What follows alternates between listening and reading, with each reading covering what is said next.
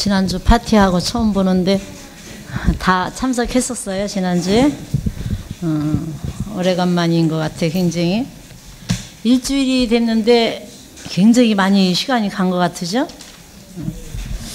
요새 기원절이 지나고 어, 천일국 3년 어, 아버님 성화 3주기가 가까우니까 하루가 하루가 아니에요. 24시간으로 그러니까 어, 우리들이 어, 원리적으로 사는 사람도 그렇지만 어, 우리 원리 안에 있지 않는 사람들도 어, 시간이 빠르다. 그리고 옛날에 어른들은 어, 나이 따라 시간이 같다 그래요.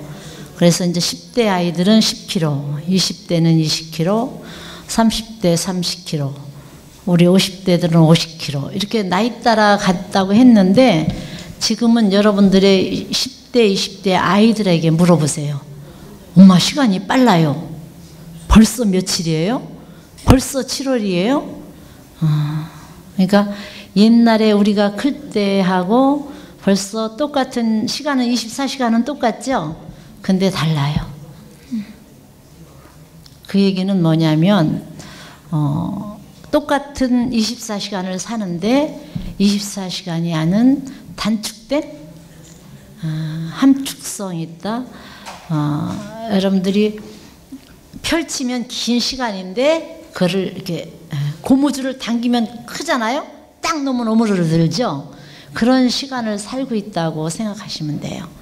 섬지적으로 어, 영계 육계가 하나 되는 시계는 시간은 어, 1년이 눈 깜짝할 사이 눈 깜짝하는 것이 사람마다 다르지만 똑딱 몇 초에서부터 이렇게 깜빡하고 나이 들수록 깜짝하는 게 늦잖아요. 그렇게 이제 눈 깜짝할 사이에 하루가 가고 1년이 간다. 이렇게 시간이 굉장히 초고속으로 달리고 있다. 이거는 우리 축복 가정만이 아니고 세상 사람들도 지금 느끼고 있어요. 그러니까 어, 섭리가 어, 왜 그렇게 세상 사람도 느끼냐? 우리 축복 가정하고 삶이 같이 느껴갈 수 있다는 것은 어, 역사의 주인은 축복 가정이에요. 역사라는 것을 하나님 창조 목적을 이루기 위한 복귀 역사로 이끌어가는 거예요. 누가? 하나님이.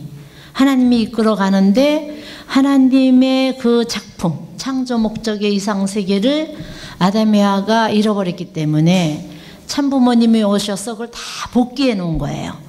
그래서 이미 고속도로를 하나님 앞에 어, 직행, 직행할 수 있게끔 다 닦아 놓으셨기 때문에 인류가 100년 사는 삶이 짧거든요.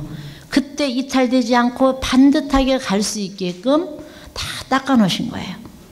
그러니까 그 닦아 놓는 기반이 아버님 성화 3주기를 중심하고 성화 3주기 아니라 기원절 어, 천일국 천주평화 통일국 어, 그것이 출발되면서 천일국은 지난번에도 내가 말씀드렸지만 하나님이 어, 타락하지 않았으면 본연의 세계가 천일국이에요. 그때 에덴 동산에 이뤄져야 할 세계가 천일국이었어요. 그거를 아버님이 성공하셔서 없는 이름을 갖다 붙인 게 아니고 하나님 창조 목적에 이상했던 세계가 천일국이에요. 그래 천일국을 이르기 그 천일국의 원, 원 이름은 천주평화 통일국이잖아요. 그 천주평화 통일국의 실체를 이루신 분이 참부모님이에요. 그리고 천일국이 이루어지면 여러분들이 여기에서 부산을 간다. 그러면은 어, 가는 방법은 여러 가지예요. 고속버스도 있고 일반 버스도 있고 열차도 어, 무궁화도 있고 새마을도 있고 KTX도 있고 또 비행기도 있고 어? 가는 방법은 여러 가지인데 시간이 없어서 급한 사람은 비행기를 타고 가잖아요. 근데 이제 알으니까, 알으니까 시간이 내가, 아, 오늘 빨리 갔다 와야 되는데, 거기서 한 시간 볼일을 보고 서울에 와서 무슨 일을 해야 될 때, 계산할 때 비행기 타고 갔다 오잖아요. 근데 비행기라는 것을 체험해 보지 못한 사람은 KTX가 제일 빨라, 제일 빨라. 어? KTX 빨리 가도 어? 그것이 다섯 시간 이렇게 되잖아요. 그러니까 아 그럼 아침에 갔다가 잠깐 일 보고 밤중에 돌아와서 저녁 약속을 한다. 근데 비행기 타고 갔다 오는 사람은 갔다 왔다 하면은 오전에 모든 일이 끝날 수 있어요. 근데 하루의 일과를 볼 때 똑같은 사람이 어? 부산에 가서 30분 일을 보고 서울로 돌아오는데 비행기 타고 그 계획적으로 그 시간 갔다가 일 보고 돌아오는 게 오전에 끝나는 사람이 있고 어? 자기가 비행기 타고 가는 경험이 없는 사람은 최고 빠른 게 KTX야. 그걸 타고 간 사람은 일과가 저녁에 끝나.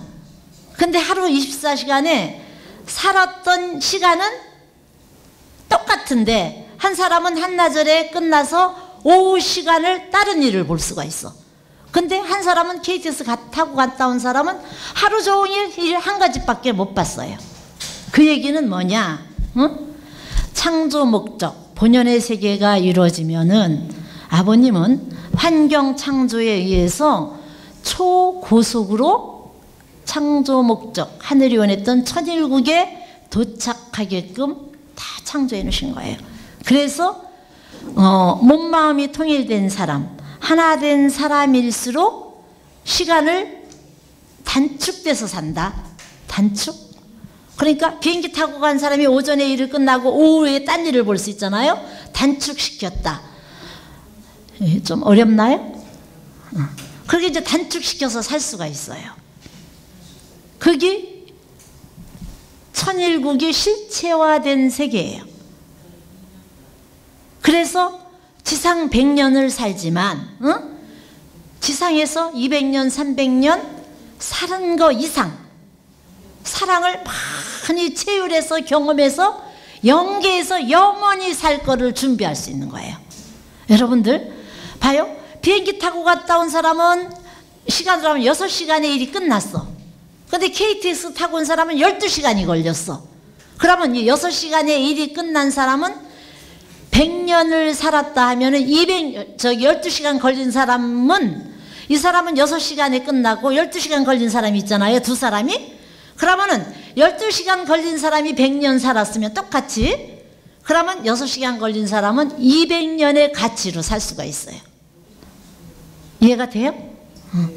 그러면은 지상에 똑같이 살고 있는데 여러분들도 아버님이 그러셨어요. 우리가 어, 아버님의 그러니까 신앙을 어, 머리로만 알아가지고 살았던 사람 그 사람은 어, 하루를 하루를 12시간에 이렇게 부산 갔다 오는 걸 단축하는 게 아니라 하루 24시간 가지도 모질라서 사는 사람이 있어.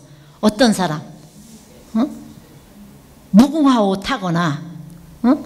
모르니까 옛날 같으면 은 마차를 타고 걸어갔어요. 옛날에 부산에서 한양을 한번 올라면요 일주일 이상 걸렸어요. 그러면 그게 몇백 년 전 이야기가 아니에요. 사모님 고등학교 다닐 때 내가 충북 보은인데 보은에서 서울을 와도요 하루 종일 걸렸어요. 어? 서울까지 보은서 직접 오는 버스가 없었어. 그때만 해도. 그래 청주를 나와가지고 어? 내가 고등학교 다닐 때 고속버스라는 게 생겼어요. 그냥 만행버스. 부락부락을 다니면서 쉬엄쉬엄 가는 버스가 있었어요. 근데 이제 그러지 않고 고속도로, 경부고속도로를 그 박정희 대통령 시절에 놨거든요. 그거를 놓으면서 시간이 단축되고 물동량이 움직이니까 전국이 일일 생활권이 된 거예요. 그거 도로가 생기기 전이니까 서울에 집에서 아침 먹고 떠나면 서울에 저녁 먹기 전에 도착하기가 어려웠어요. 근데 지금은 두 시간이면 와요. 보건소 서울까지 두 시간도 안 걸려요. 자가용 가지고 좀 빨리 기사 달리면은요, 1시간 40분에 끊어요. 그러면 밤은 자고 12시간 이상 걸린 걸, 응? 2시간에 걸려. 6분의 1이에요, 6분의 1. 응? 그럼 내가 50살을 산다면 12시간 걸린 사람은 50살이야. 근데 2시간 걸린 사람은 300년을, 옛날로 따지면 300년을 살 수 있어요.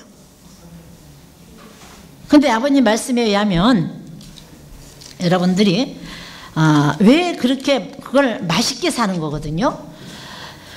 작은 시간, 짧은 시간에 경험하고 체율해서 산다. 그러면은 오전에 부산에 비행기 타고 갔다 왔어요.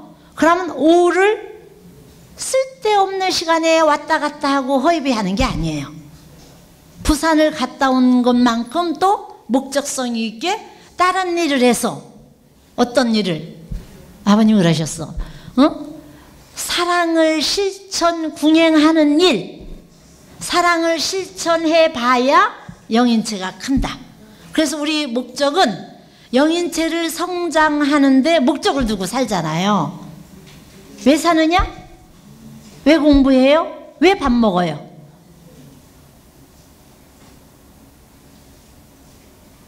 왜 오늘 말씀 들으러 왔죠? 사랑. 사랑을 실천하고 사랑을 뭐라 그럴까? 어, 먹기 위해서. 영계의 재산은 사랑밖에 없어요. 엄마 뱃속에 있을 때는 뭐로 다 호흡을 해요? 우리가 육신 쓰고 사는 사람이 아기들 어릴 때 응? 우리는 지금 코로다가 호흡을 하잖아 공기로다가 공기로 호흡을 하는데 어린 아이일수록 야 엄마 뱃속에 있을 때는 물주머니 속에서 살면서 호흡했다 이해해요 못해요? 못해요 과학적으로 공부해 본 사람이 엄마 배꼽에 탯줄을 연결해서 입, 코, 귀가 필요 없이 응? 물주머니 속에서 하나 입 같은 거 사용하지 않고 물 속에서 호흡했다는 게 이해가 돼요. 지금 저 어? 뭐랄까 그거 투시? 다 그걸 뭐라 그러죠? 다 보잖아요 모니터로다가 아기가 노는 거 같은 거 초음파로. 근데 여러분들이 초음파가 나오기 전에 엄마들이 양수가 터진다 하지만은 머리로 이해 못했던 할머니 할아버지들도 많아요. 어떻게 사람이 물속에서 살까? 왜? 자기가 경험한 거는 공기로 호흡하는 것밖에 안, 했, 안 했으니까. 그래서 물속에 가서 쭉 있어도 내가 5분 이상, 3분 이상을 못 읽는데 어떻게 열 달을 물속에서 살았을까? 응? 옛날에 우리 할머니가 참 옛날 얘기를 많이 하셨어요. 어린 클 때 할머니 옛날 얘기를 참 많이 듣고 컸는데 그때 할머니가 그 말씀을 하셨어요. 엄마 뱃속에 있을 때는 물속에서 사는데 할머니도 모르겠다고. 어? 근데 물속에서 팔다리 수영은 다 하는데 어? 이 탯줄로 사는 것이 이해가 안 된다고. 그래서 엄마 배꼽하고 아버 어? 아기 배꼽하고 연결이 돼 있는데 가위 소독을 해서 잘라주면은 응애 한다고. 근데 그래서 거기 산소가 들어가는 건 아는데 어떻게 그렇게 됐을까? 어? 우리 할머니가 설명할 수 없다고 그랬어요. 이제 그게 이제 우리 오빠들이 크면서 물었어요. 엄마 뱃속에 이제 동생이 자꾸 뱃속에 어, 엄마가 임신하니까 아기는 뭐 먹고 살아요? 그렇게 물으니까 할머니 대답이 그랬어요. 근데 지금 여러분들의 아들 딸이 엄마 뱃속에서 어, 물속에서 산다는 게 가능할까요? 그러면 설명 못할 엄마들 없죠. 설명 못하는 엄마 있어. 응? 그 얘기는 뭐냐면 응? 영원한 세계. 근데 여기서 아버님의 가치가 위대한 것이 응? 3시대를 3세계를 사시면서 물 속에서 호흡하고 공기 중에 호흡하고 사랑으로 호흡한다. 이것만 배운 것만 가지고도 여러분들은 땡 잡은 거예요. 기독교, 불교, 유교 모든 종교에서 영계의 호흡 기간은 사랑이다. 이 결론을 못 내리셨어요. 믿음과 소망과 사랑 중에 그 중에 으뜸이 사랑이라는 얘기는 했지만 예수님도 어? 영계에서 사랑으로 호흡한다. 사랑을 거기서 창조해내는 게 아니고 지상에서 사랑을 준비한 것만큼 가서 호흡한다. 그러면 공기가 없으면 산소호흡기를 매야 되고 우리가 어, 고산지대 고산지대 가면요 산소호흡기 폐활량이 적은 사람일수록 산소호흡기가 있어야 호흡을 하거든요. 그러면은 연계에 갔을 때 내가 사랑에 적음에는 사랑을 채울했던 저축이 없으면 사랑의 보따리가 없으면 호흡이 곤란하다. 이거를 느껴야 되거든요. 그것을 가르쳐줬다는 사실 하나만 가지고도 여러분들은 아버님께 부모님께 감사해야 돼요. 같이 육신 쓰고 살죠. 살면서 그런 가치적인 것을 실지 생활에서 우리가 경험할 수 없고 그걸 우리가 체휼하지 못하면은 어떻게 내세까지 영계까지 준비시켜 주셨던 부모님. 그거는요 철학자들이나 어?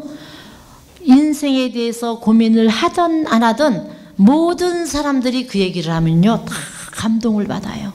학자들이든 박사들이든 어떻게 그걸 아느냐고. 입증된 겁니까? 근데 가만히 듣고 보면 아 사랑으로 살겠구나. 그걸 느낄 수 있잖아요. 근데 지금 시대가 어, 기원절 실체 천일국이 천일국은 창조 이상 세계에 있었다고 그랬죠? 근데 실체 천일국의 출발은 2013년 1월 13일이에요. 기원절 날 그래서 부모님이나 모든 인류가 실체 천일국이 이루어져야 영계에도 문이 열리니까 여러분들 구상만 가지고 설계도만 가지고 실천되는 건 아니잖아요. 그러니까 하나님도 천일국의 이상과 설계도는 있었는데 땅에서 그게 경험된 사람들이 와서 어? 천일국 문을 열기를 기다리신 거예요.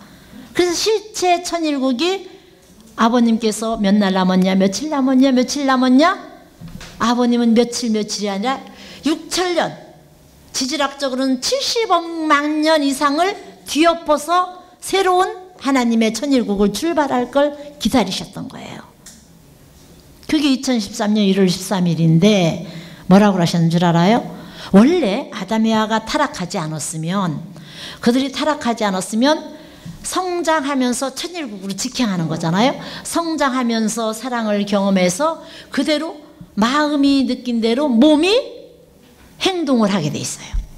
여러분들이 우리가 복귀 과정에 근데 타락해서 우리가 이제 복귀 과정에 가잖아요. 근데 아버님과 우리의 차이점은 아버님은 마음이 느끼시면 행동을 하세요. 근데 우리는 얼마나 오만 가지 생각이 많은지 그게 내가 타락의 후손이라는 걸 여러분들 괴로워해야 돼요. 어떤 사람은 선교사들 사모님 말씀이 어렵다. 책임이 너무 무겁다. 말씀을 들으면 음, 책임을 못할 거니까 듣고 싶지 않다. 듣고 싶지 않고 무거워서 안 듣고 연계 갈 자신 있으면 안 들어도 좋죠. 근데 안 들었지만 시간은 가서 연계 갈 시간은 자꾸 만약에 연계 가야 할 선이 100m예요. 100m요. 그러면 우리가 2013년 1월 13일부터 땡 하고 실제 천일국이 출발돼서 시간은 가요. 그러면 가면 갈수록 90, 80, 70 좁혀지고 있잖아요. 좁혀지고 있는데 100m 시점에서 연계 안 갈 사람 하나도 없어요. 근데 준비를 해가지고 간 사람은 자유로운데 책임이 무겁고 힘들다 그래서 안 듣고 실천하지 않았다. 그 사람은 재림부활해야 돼요. 연계에서는 성장이 안 돼요. 그러고 백으로 통하는 데가 아니고 누구 안다고 그래서 부부지간이라 해서 대신 살아줄 수 있는 게 아니에요.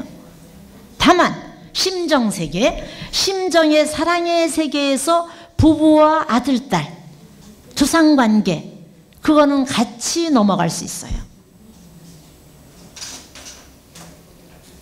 언제? 우리 조상들이 여러분들 청평 가서 많이 들었지만 후손들이 특별한 날 특별 정성을 드린다. 그 조건이 됐을 때 넘어가는 거예요.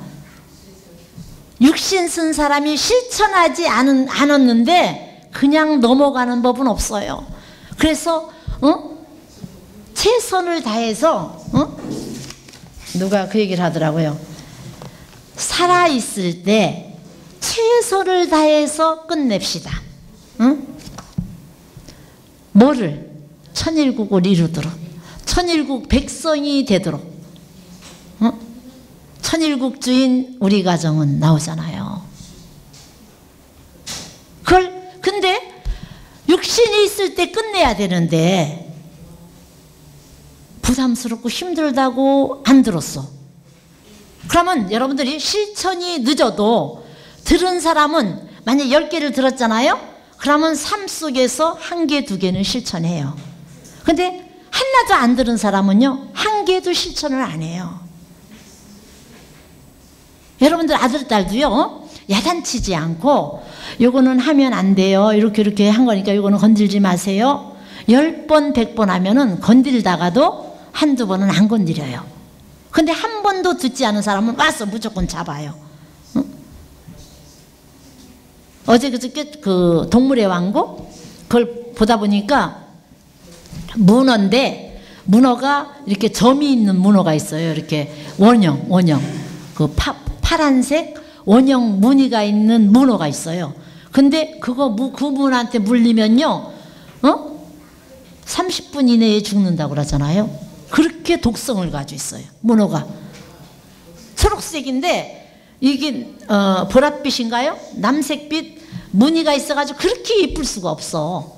문어인데. 그러니까 똑같이 문어니까 그 식물학자들이 어? 근데 그게 이제 어, 많지가 않죠. 열대지방?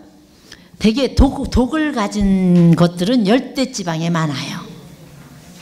왜? 여러분들 우리 대한민국 사람이 정이 많고 착한 이유. 아버님은 어, 전 세계를 말씀하시면서 어, 피부가 가맣다 그건 아버님은 환경이라고 하셨어요. 환경. 응? 그래 환경 창조가 잘 돼 있어야 사람이나 동물이나 유순해요. 그래 초식 동물이 유순하잖아요 고기를 먹고 사는 것들이 싸나와요. 열대지방은 잠을 못 자요. 뜨겁고 겨울이 없으니까. 그러니까 독이 많아요. 응? 내가 브라질에 갔을 때 조그만 실잠자리인데요. 남색이에요. 근데 그렇게 예쁠 수가 없어 실잠자리가. 날개가 남색이고 하늘하늘하고 몸통은 어, 보랏빛이 나는 게 너무 실잠자리가 예쁜 거야. 한국 생각하고 잡았어. 근데 이렇게 꼬리를 잡으면 이렇게 톡 털어서 물잖아요. 고기 물어봤자 한국에서는 표시도 안 나. 그래 클때 그 잠자리를 많이 고향에서 잡아봤잖아요. 그 생각을 잡았는데 물더라고요. 근데 그 이튿날 이렇게 봤어.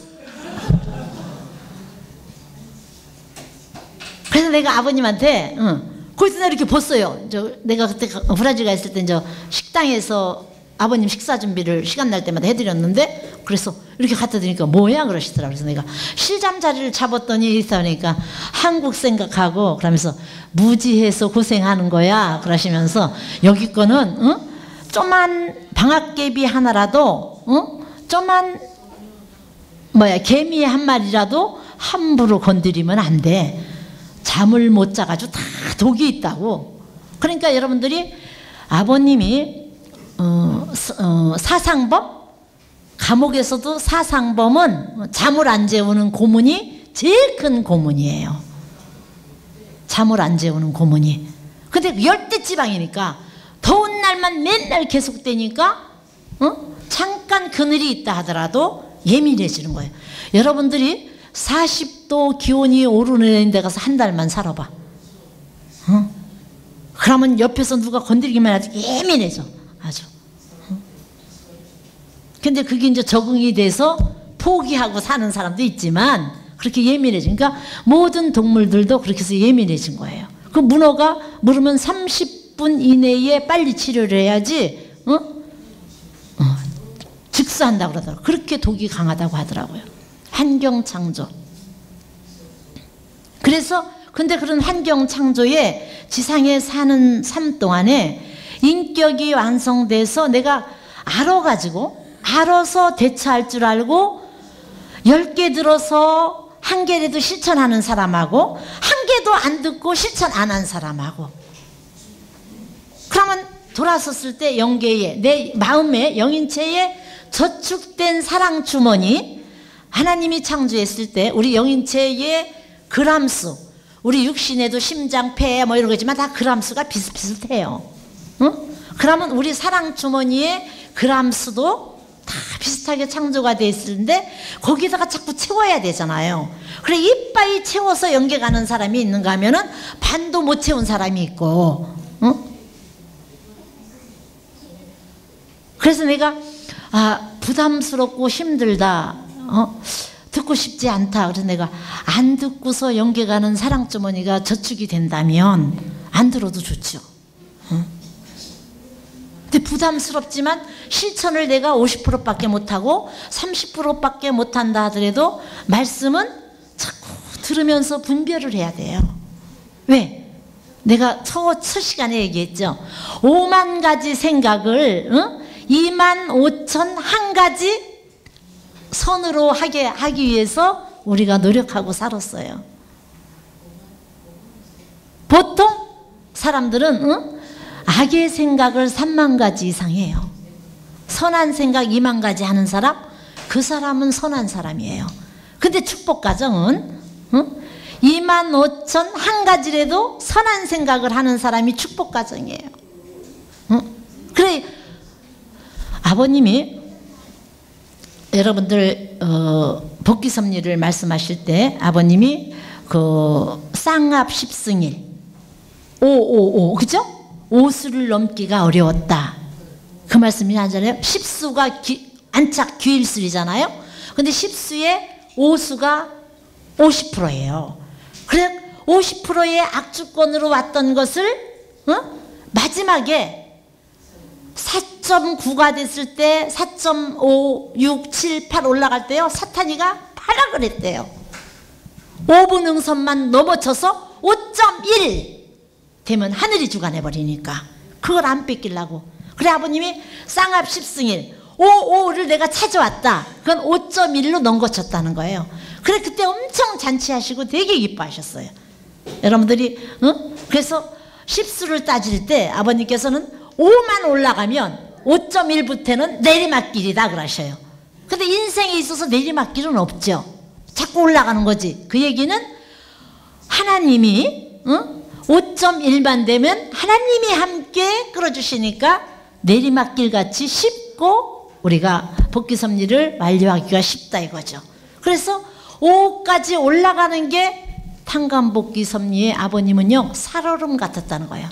그런데 마지막 올라 끝까지 올라갈 때 그걸 못 올라갈 때 5.9 아니 4.9 됐을 때 제일 힘들고 무거웠대요. 그래서 오 상합 10승리를 승, 승리하시고 얼마나 기뻐하시고 잔치하시는지 몰라요. 근데 여러분들이 우리도 그러니까 들었던 거에 5 다섯 가지 5.1이라도 실천을 해서 나를 자꾸 선화시키게끔 실천하는 삶을 이를 악물고 노력을 해야 돼요. 예를 든다면 마음이 응? 어, 지금 뭐 이제 봉사하는 것은 어? 한 가지만 저기 한복을 입고 청소를 한다. 그러면 마음이 아 나도 한번 입고 봉사하고 싶다. 마음이 들어요. 근데 용기가 어때요? 4.9, 4.5 이제 4.5는 하고 싶다까지 생각을 했어. 에이, 뭘 해? 누가 뭐, 내가 언제부터 했다고? 그래, 아니, 어떤 언니가 나 입은 거 보면 또 뭐라고 하지 않을까? 언제 안 하던 언니가 변했네? 이제 괜히 그 4.5까지 올라온 생각을 누구 중심으로?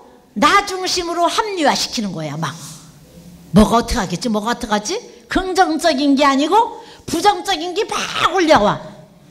4.5까지 올라왔는데 부정적인 거는 6, 6이에요, 6. 4%가 올라와 있다면 부정적인 게 6%가 있잖아. 그것이 막 나를 덮치는 거야. 그러면 에이 말지 포기하는 거예요. 근데 4.5, 4.5 그래서 5, 에이 누가 뭐라든 나도 응? 한번 해보는 거야. 그래서 5.1을 딱 넘어서 읽죠. 응. 그러면은요 그때는 그 5 이상 붙잡았던 그 생각이 싹 사라져요. 그러고 그 번뇌했던 것은 아, 아무것도 아니네.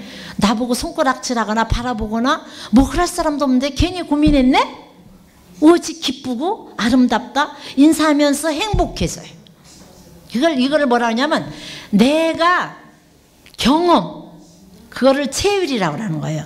내가 체율을 해봐야 아 이랬으니까 앞으로 무슨 일이 닥칠 때 이렇게 한다 이렇게 결정이 돼요. 근데 해보지도 않고 4.9까지 집을 져놓고 5.1한테 져가지고 실패하는 사람이 얼마나 많은지 몰라요. 아버님도 그러셨어요. 4.9일 때 있잖아요. 다 올라가. 올라가는데 어? 우리가 아파트로 얘기하면 10층이 있어. 그러면 5층까지 올라가면은 6층, 7층, 8층은 10대예요. 근데 5층까지 올라가잖아요. 그러면요. 아, 남은 5층은 지금까지 올라왔는데 하고 쉽게 올라갈 수 있는데 응? 4층까지 올라면 뭐냐면 아이고 앞으로 6층이 남았어? 아이, 올라가지 말고 뒤로 내려가지. 나 못 올라가겠다. 이렇게 포기하는 사람이 많다는 거예요. 마음에. 복귀 섭리도 똑같아요. 우리가 선을, 사랑을 실천하는데 5까지 올라가야 내려가도 5층, 올라가도 5층. 그러면 어차피 가야지 하고 한 발을 내딛는다는 거예요. 근데 통계적으로 4층 한 계단 올라가면 5층인데 거기까지 올라가서 힘들다고 4.9잖아요. 그러면은 그 0.1 차인데 계산하는 거야. 올라가 말어, 올라가 말어. 그래서 실천을 못하는 게 만드는 거예요. 근데 이것이 내가 얘를 아파트 올라가는 거와 여러분들이 인생 사는 걸 얘기하지만 아버님은 말씀하시기를 4.9 올라가는 힘이나 0.1, 5까지 올라가는 힘이 같다고 하셨어요. 뭔 말인 줄 알아요? 사탄이가 4.9에 몇 프로? 6.1이 와서 붙어 있어. 그죠? 5가 되면 5, 5야. 그러면 하나님도 사탄도 다 손 놓고 있잖아. 그러니까 쉬운 거야. 내가 5.1만 돼버리면. 응? 그래 우리 인생에서 경험하고 어? 체휼하는 신앙 그렇게 때 실천한다는 거 그래서 실천궁예 아버님 말씀이 응? 너네들이 영계를 알고 처음엔 하나님을 알고 영계를 알고 왜 사는가를 알면 참 사랑을 실천궁예했을 때 영인체가 크는 거예요 안다는 걸로 성장하는 거 아니에요 근데 다만 무지는 사망이야. 몰라서 못했습니다는 기원절 실체 천일국이 실천되기 전까지는 몰라서 못했습니다가 통했어요. 근데 실체 천일국이 실행된 2013년 1월 13일 이후는 몰라서 못했습니다는 탕감이 따라요. 무지는 사망권 내기 때문에. 그래서 4.9까지 올라갔다 포기하고 떨어지면은요, 4층만큼 뒤로 미끄러지는 거예요. 그래서 뜻길에 출발해서 신앙을 하다가 스스로 누구 때문에 상처 입었다고 하는 사람 많아요. 근본은 자기 때문이에요.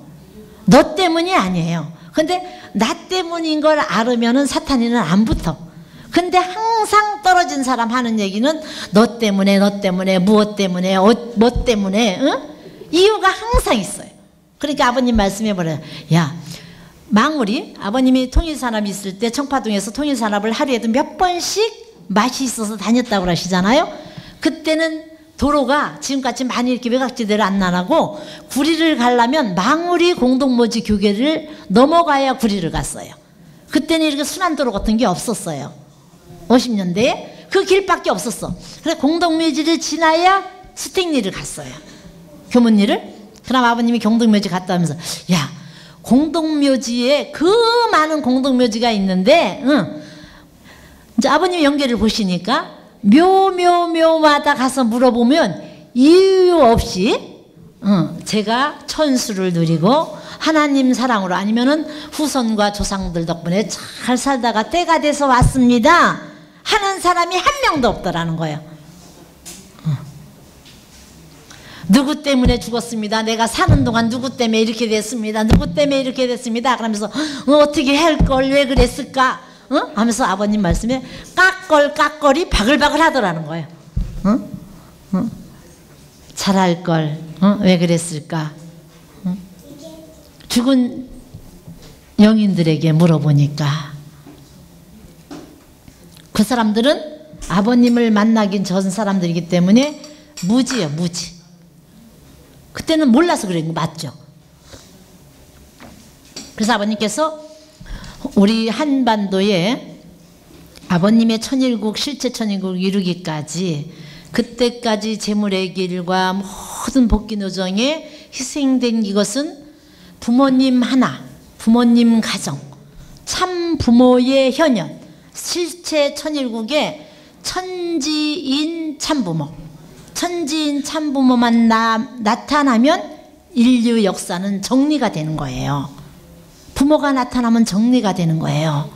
여러분들 좌익과 우익 인류 역사의 26개 문명권에서 공산주의와 민주주의의 두 개 주의로 지금 인류가 가고 있잖아요. 그러면 좌익과 우익이다. 그러면 두익 사상, 부모주의가 나타나면 해결된다. 그래서 아버님은 어? 아까 누가 천지 뭐 천주 천지인 참부모 경배 그건 모르는 거예요. 천주 부모는 하나님을 말씀해요. 천지 부모는 지상의 참 부모.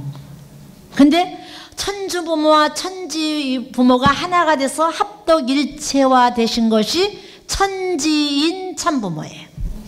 그래서 우리들은 천지인 참 부모님 승리하신 천지인 참 부모님께 경배고 부를 때 천지인 참 부모님이에요. 천주 천지 이게 아니에요. 이미 어, 무영의 하나님과 실체 참부모가 합성일체화돼서 이루신 부모가 천지인 참부모예요. 여러분들이 천지인 참부모님 하나만 가지고서도 내가 몇 시간을 어, 설교할 수 있지만 그건 역사적으로 우리가 감히 불러볼 수 없는 말들이에요. 모든 종교에서는 천주 부모는 많이 얘기해요. 원불교나 그런 데도 천주 부모 얘기하죠. 천지 부모 없죠. 천지인 참부모, 천지인 사상, 원불교, 어, 대종교, 그런데 천지인 사상은 있지만 그건 사상이에요. 그 실체, 어? 하늘과 땅과 순간 사람, 만물과 천지인의 원리로 창조됐다는 것만 얘기하죠. 실체, 천지인, 참 부모가 승리했다는 거, 이건 여러분들이 천지인 참 부모님을 어? 승리하신 부모님을 모실 수 있었다는 건 대단한 거예요. 죽어도 죽어도 감사해도 감사해도 감사 못할 그 이름 하나에만 해도 여러분들이 평생 감사해도 그 이름을 부를 수 있다는 건 응? 감사 다 못하고 죽죠. 그렇게 귀한 가치. 그래서 부모님이 이제 그렇게 다 승리해서 해놓으셨는데 응? 몰랐다. 그거는 실체 천일국이 이루기 전에 그래서 아버님께서 실체 천일국이 이룰 때 지금 여러분들이 천지인 참부모는 하늘과 땅의 혼연일체 합성일체화 되신 분이기 때문에 아버님이 영계에 계시든 어머님이 지상에 계시든 합덕일체화 되신 분이에요. 그래서 어머님을 보시면 부모님, 아버님이 보이고 영계 아버님을 생각하면 어머님이 나타나는 거예요. 일체화예요, 일체화.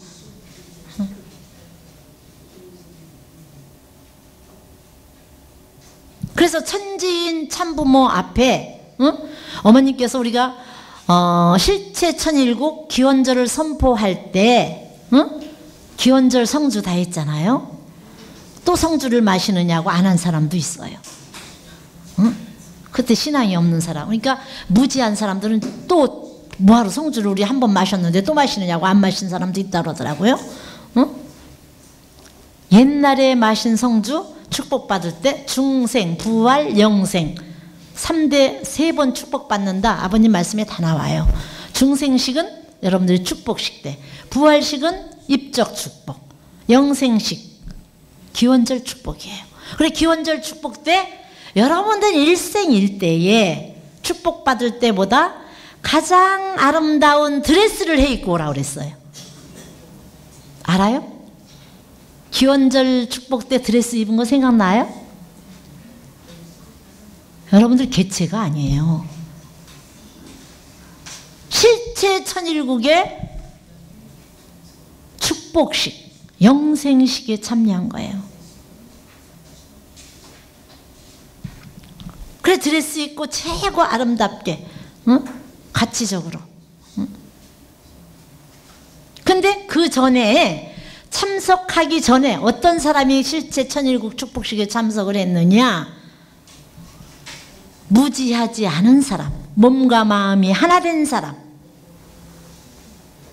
그래서 무지했던 거 하늘과 관계없었던 거 하물며 여러분들 중생 시기에 마셨던 성주와 게임이 안 돼요. 하물며 축복받고 탈선한 죄까지도 용서하는 성주식이었어요. 원인 무역, 완전 백지화 시킨다.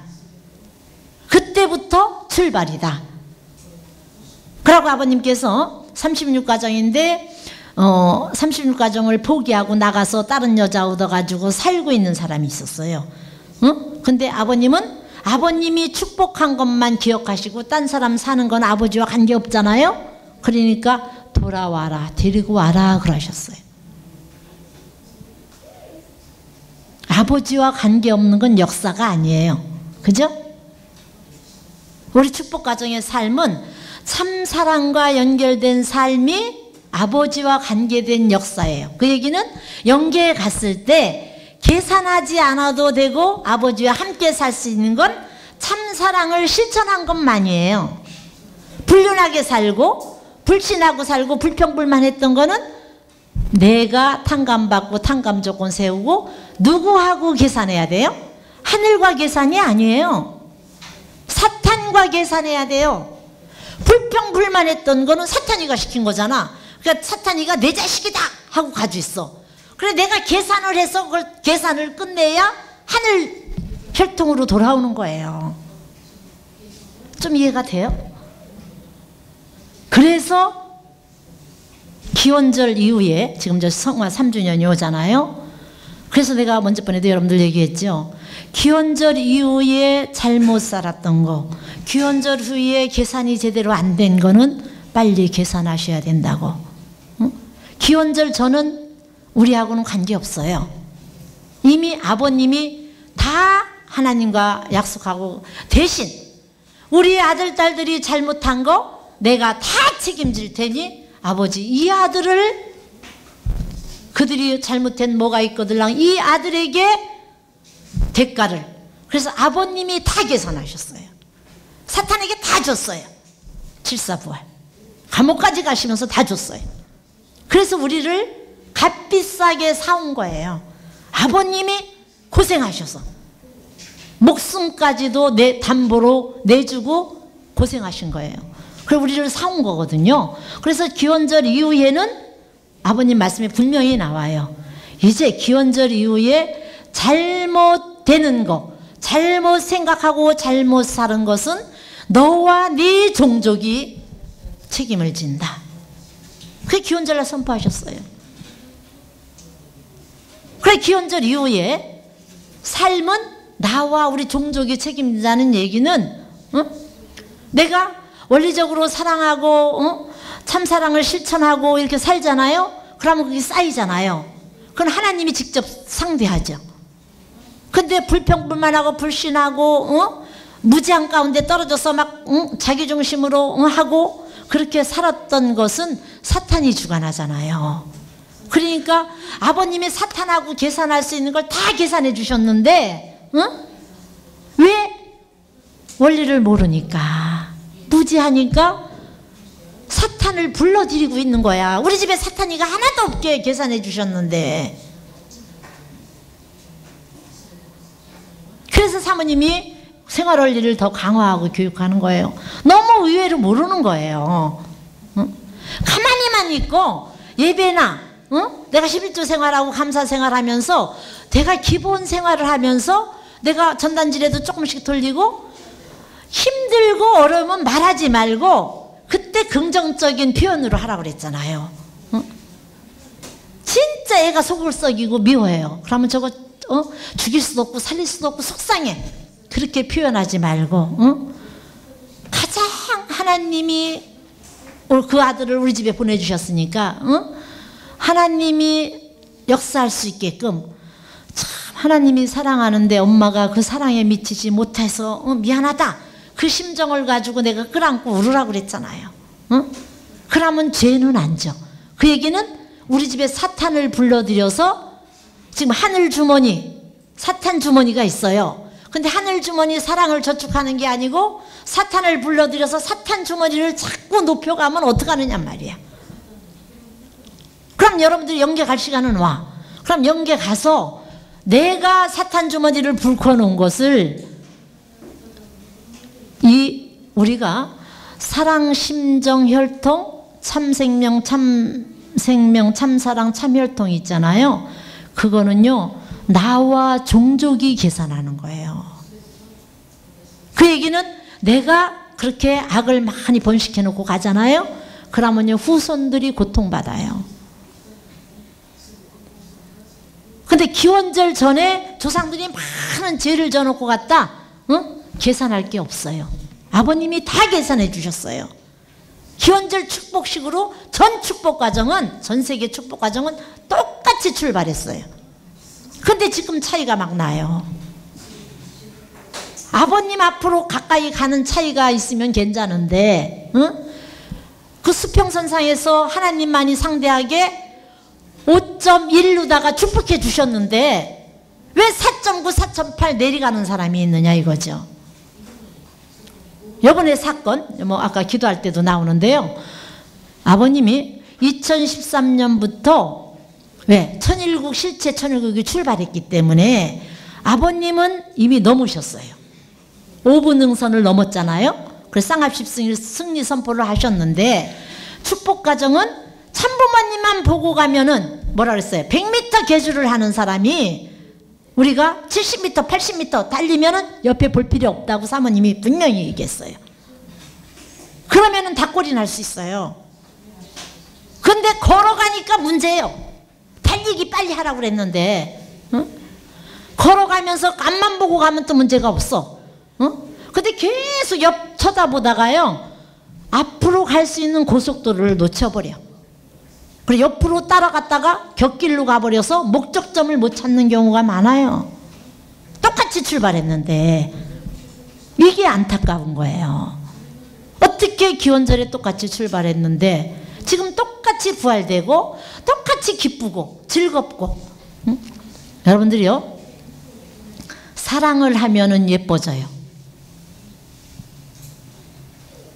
뭐 성형을 해서 예뻐지는 거 아니에요. 응? 만몸이 통일되잖아요. 마음이 원하는 대로 움직여주고 양심에 가책이 없죠. 그러면 기뻐요. 육신이 좀 피곤해도 금방 극복이 돼요. 그러고 그런 사람 옆에 가면은요 향기가 나요. 그러고 사람들이 몰려와요. 우리가 왜 아버님 집회에 가면은 일찍 끝나면 아쉬워? 아버님이 계속 붙잡고 있으면 좋겠어. 사랑의 힘이 강하니까. 사랑하는 사람하고 있으면요, 안 피곤해요. 여러분들이, 여러분들의 애기들이 속썩이지 않고 기쁨을 주는 아이. 어, 근데 뭐 일곱 살 전에 효도는 다 끝나지만, 응? 그때까지 지금 뭐 다섯 살 되면 애기 너무너무 예쁘잖아요. 응? 안 밉죠? 근데 이제 대학교 정도 가서 자기 주관이 생겨서 대화가 안 되면 한 시간 앉아 있는 게 지옥이야.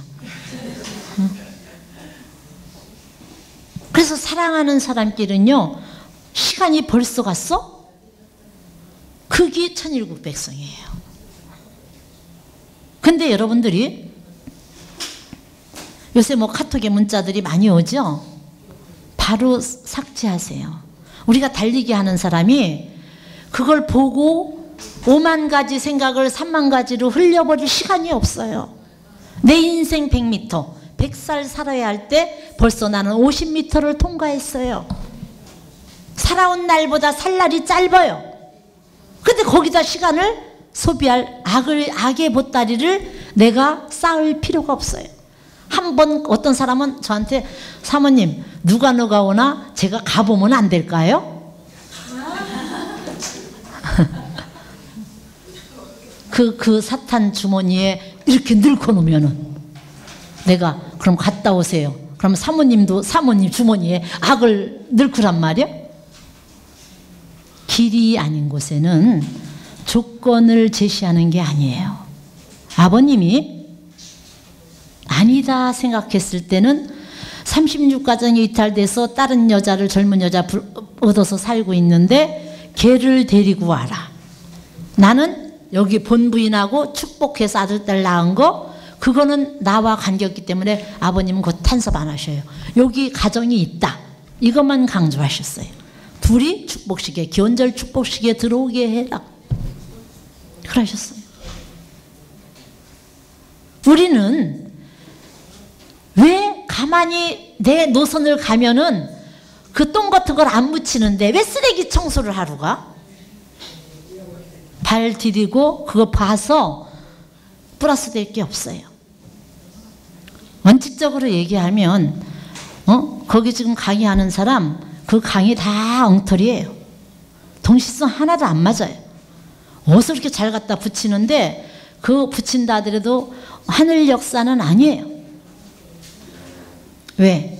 동시성이라는 건 여러분들이 원리를 알면 그래서 사모님이 처음에 여기 천복궁 발령을 받고 아버님 앞에 왜 천복궁 가야 됩니까?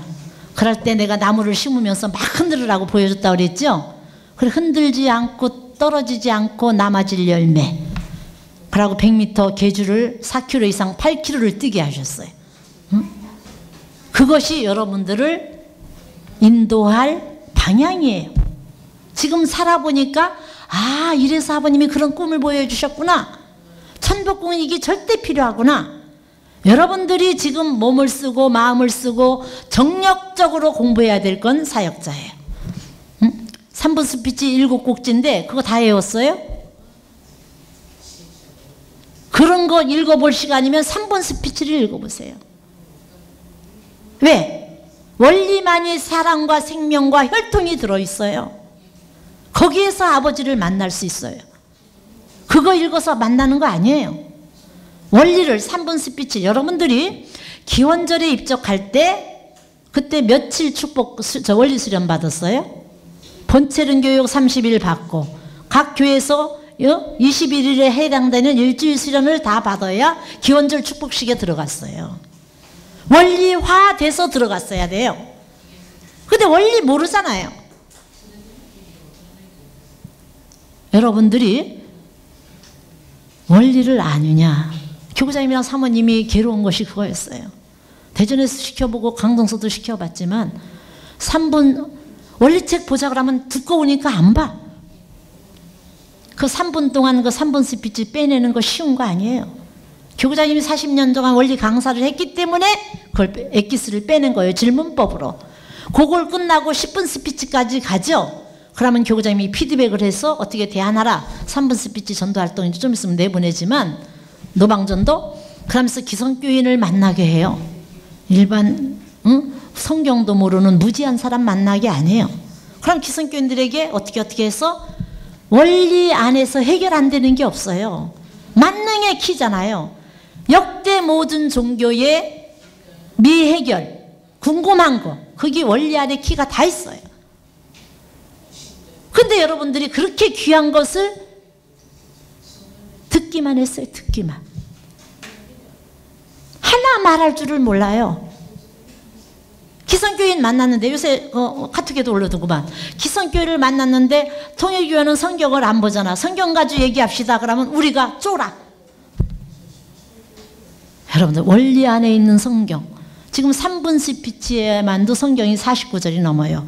그것만 완벽하게 해도 기성교인 만나면은요 쫄지 않아요. 자신 있게 얘기할 수 있어요. 그러면 기성교인들이 놀래요. 아버님 같이 엑기스로다가 원리강, 저 원리강론에 있는 성구를 기성교인들은 안 배웠어요. 전체 역사를 보실 줄 알기 때문에 아버님은 딱딱딱딱, 어? 한 방에 날릴 수 있는 키가 다 있어요. 그러니까 대전이 지금 기성교인들이 많이 전도되는 거예요. 전단지만 보고 지난주에도 8명이 저기 세미나에 왔대요, 대전은. 그리고 지금 15명 정도 예배 참석하는 다 기성교인이에요. 성경을 통해서 감동받으면 기성교인들이 오자마자 11조예요. 그게 정석이에요. 우리 원리는 기성교인, 세계 기독교 통일시배. 기독교가 사명을 못했기 때문에 할 수 없이 세계기독교 통일출연합회를 세운 거여서 통일교회라는 게 나온 거예요. 원래 하나님 섭리를 볼때 기독교가 신부 종교이기 때문에 우리 통일교 나오면 안 돼요. 그들이 이대 사건으로 해서 아버님을 받아들이지 않으니까 아버님이 세례요한이 받아들이지 않으니까 예수님이 메시아라는 걸 선포 못하고 종의 종으로 세례요한 자리로 떨어진 거 아니에요. 아버님도 똑같은 노정을 40년 가신 거예요. 그래서 통일교회를 만든 거예요. 그래서 아버님을 받아들일 곳은 신부 종교 기독교예요. 그러니까 여러분들의 전도 대상자는 무교가 아니에요. 기독교인이 통일교회 말씀을 제일 맛있게 먹을 사람들인데 우리가 벙어리가 돼서 전하지 못했기 때문에 기독교인이 통일교회를 반대하는 거예요. 성경도 안 보고 사람만 믿는다. 그렇게 아무 말도 못 하잖아요. 우리 같이 성경을 제대로 보는 사람이 없는데 그래 그런 응? 어 뭐야 유튜브나 뭐 그런 거 볼 시간 있으시면 3분 스피치에 오세요. 여러분들이 살 길이에요. 100m 달리고 있는데 70m, 80m 옆에 볼 시간이 없어요. 그 이상 이하도 말 못하는 이유가 응? 악의 역사인데 거기까지 우리가 관여할 수는 없잖아요. 어떤 사람은 뭐 교구장님이 왜 뭐 나쁘다고 비판해 주지 않느냐?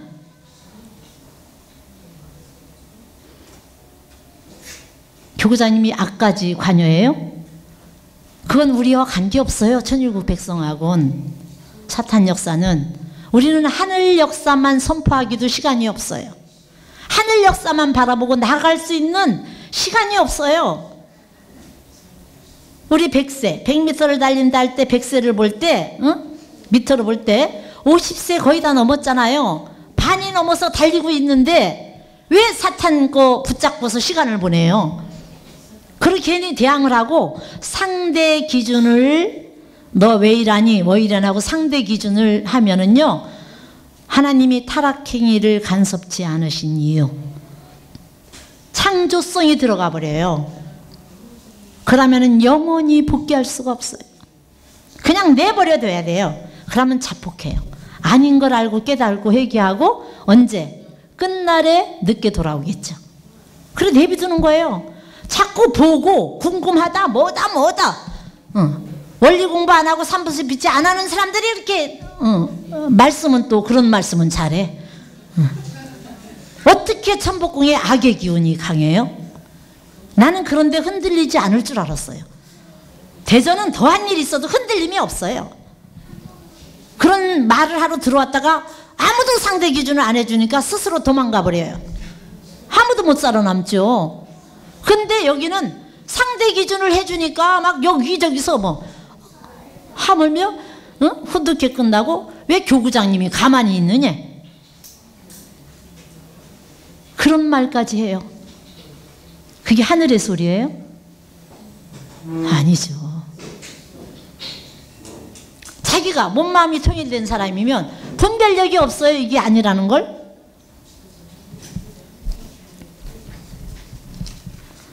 아, 어머님은 분명하게 말씀하셨어요. 니네들이 형제님을 위하는 것 같지만 그것 때문에 형진이가 영원히 아버지 앞에 돌아오는 길을 막을 수 있다는 걸 명심하라. 그래 이상열 회장 보고 이상열 교구장 하던 분이 지금 한국 대표 아니에요? 빨리 형제님 말씀에서 손을 떼고 형제님을 팔아먹고 그것을 형제님을 팔아서 네 기반을 닦지 말고 와서 40일 수련 받고 축복 가정의 자리로 돌아와라. 그렇지 않으면 축복 가정 자리까지 뭐라죠? 없애버린다고 하셨어요. 어머님의 말씀이에요. 응? 그렇죠. 모자지간에 응? 사탄이가 들어가서 어떤 활동을 하던 형제님과 어머님이 때가 되면 해결하실 것이지 왜 우리가 가인권이 이러고 저러고 콩나라 판나라 왜 관여를 해요? 우리는 몰라요.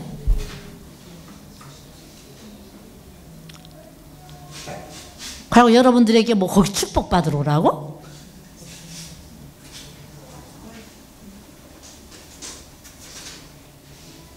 천지인 참부모 실체 천일국 시대가 어떻게 도래됐나 역사를 알면 여러분들이 그렇게 흔들릴 수 없어요.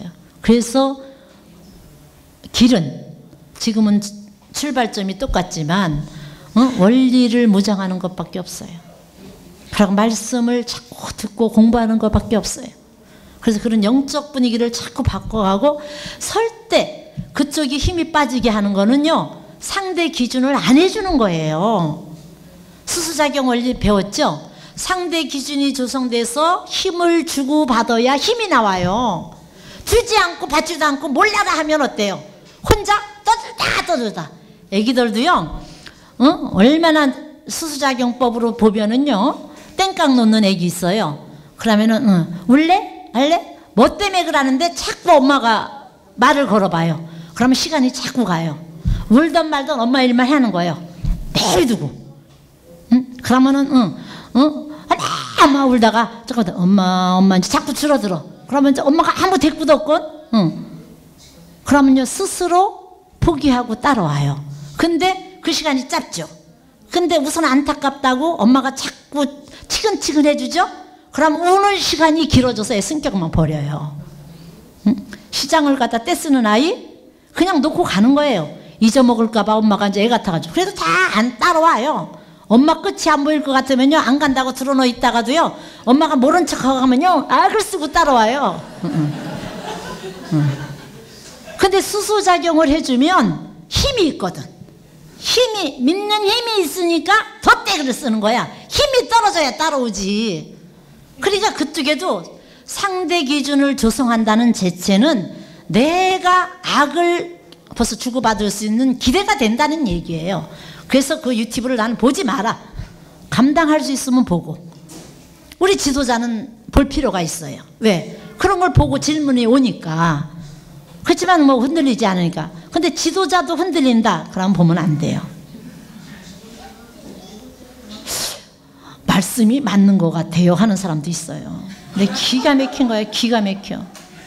여러분들, 섭리적 동시성이다. 아담 노아가 아브라함 가정, 아담 가정에서 책임을 다했으면 복귀 섭리 역사가 안 나와요. 아담이 책임 못하고 아브라함이 책임 못해서 아브라함, 이삭, 야곱 그거는 아브라함이 책임을 다했으면 이삭, 야곱 3대까지 안 가요. 아브라함이 어? 비둘기 어? 사탄 분립하는 거 실패함으로 말미암아 3대권으로 간 거예요. 근데 거기서 아버님이 형제님이 아버님 노정을 따라서 동시성으로 걷고 얘기 나오는데 얼마나 웃겨요. 그러면은 아버님을 메시아로 믿고 참부모로 믿는데요. 그러면 형제님이 왜 동시성을 가요? 아버님이 이미 다 역사는 종결 지었는데 이해가 돼요? 아버님을 실패한 아버지 책임 못했다는 것을 얘기하는 거예요. 그 얘기는 동시성이라는 거는 책임이 완료되면 끝나는 거예요. 복귀 섭리가 하나님의 창조 목적을 이루어야 되는데 가는 과정에 실패하니까 똑같이 창조 목적을 이루기 위해서 동시성이 이루어지는 거예요. 섭리적 동시성이 왜 이루어져요? 창조 목적이 실현이 안 됐기 때문에 역사를 두고 이루어져 나왔던 거예요. 근데 아버님이 실체 천일국 기반으로 창조 목적을 완료하셨어요. 섭리적 동시성은 끝났어요. 근데 거기서 그렇게 동시성으로 설명하는데 참 은혜롭디야. 내 아버지를 실패했다고 하는데 은혜로워요? 분통이 터지지. 이거 원리를 몰라도 이거 완전 사탄 작전이네. 아버지를 존경해? 내 아버지를 실패했다는 거 아니에요. 어떻게 동시성이 또 나와요? 여러분들이 어, 지금 보, 볼수록 화가 나는 거니까 그런 거 볼 필요 없어요. 감당이 안 되면. 이제 무지하니까. 다만 그렇다고 정죄하진 않아요. 그건 하늘이 할 일이고 자기가 어, 받을 업보기 때문에 정죄하진 않지만 우리가 괜히 거기에 시간 낭비할 필요 없다. 나 지로는 상대하지 말고 가자. 근데 식구들이 어리니까 상대하고 있어서 어떡하느냐? 교구장님은 그래도 알려줘야 되지 않냐? 그러니까 답답한 거예요. 이 철없는 것들 기원절 축복은 받아놓고서 응? 여러분들의 여러분들이 답답하죠. 그러면은 하늘과의 나와 하늘과의 관계 속에서 응? 음, 그 뭐랄까 자기마다 하나님과의 체율된 신앙 어떤 태풍이 불고 비바람이 불어도 흔들리지 않는 신앙의 기준 체율된 신앙 그 경험이 재산이 있어야 흔들림이 없어요. 뭔 말인지 알아요? 하늘을 만났던 기준, 신앙의 동기에 재산을 가져야 돼요. 근데 그 재산이 지금부터 없는 사람은 희생봉사를 하세요. 여러분들이 내가 어떤 일 있어도 정성이란 어제도 오늘도 내일도 같은 일을 반복해도 지치지 않고 감사하는 것이 정성이에요.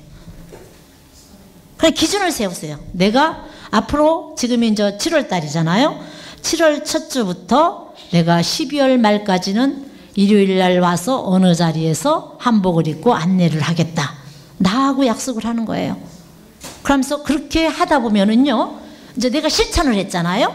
하나님을 알고 연계를 안다는 것은 실천을 해서 체율이 돼야 연계가 역사예요. 실천하지 않은 사람은 머리로 아는 사람은요 기억이 없어요. 그건 연계 역사를 안 해요. 연계 역사는 실천을 했을 때 역사예요. 그러니까 내가 그렇게 기준을 세워놓고 실천하잖아요. 그러면 한 달, 두 달 할 때 못하게 하는 일들이 생겨요. 내가 6개월간 어떤 있어도 어떤 한복을 입고 내가 안내를 어디 사겠다.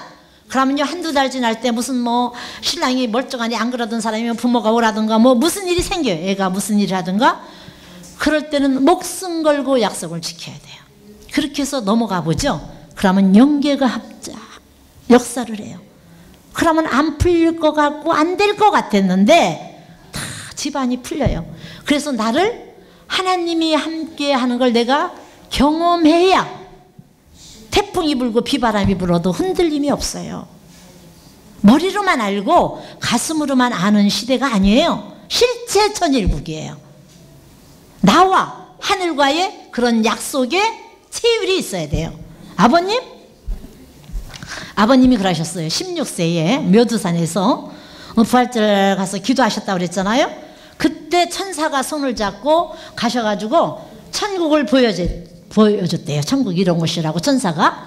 아버님이 어, 그 예수님이나 누구를 만나기 전에 먼저 천사가 왔대요. 천사가 와서 묘두산에 기도할 때 천국을 보여줬는데 너무너무 아름답고 표현할 수가 없을 정도로 아름다웠대요. 천사가 보여줬는데, 어? 그러는데, 그러고 천사가 그 천국을 아름다운 걸 보여주고 난데 하나님에게로 데리고 간 거야. 근데 하나님에게 갔더니 하나님이 그 어려움,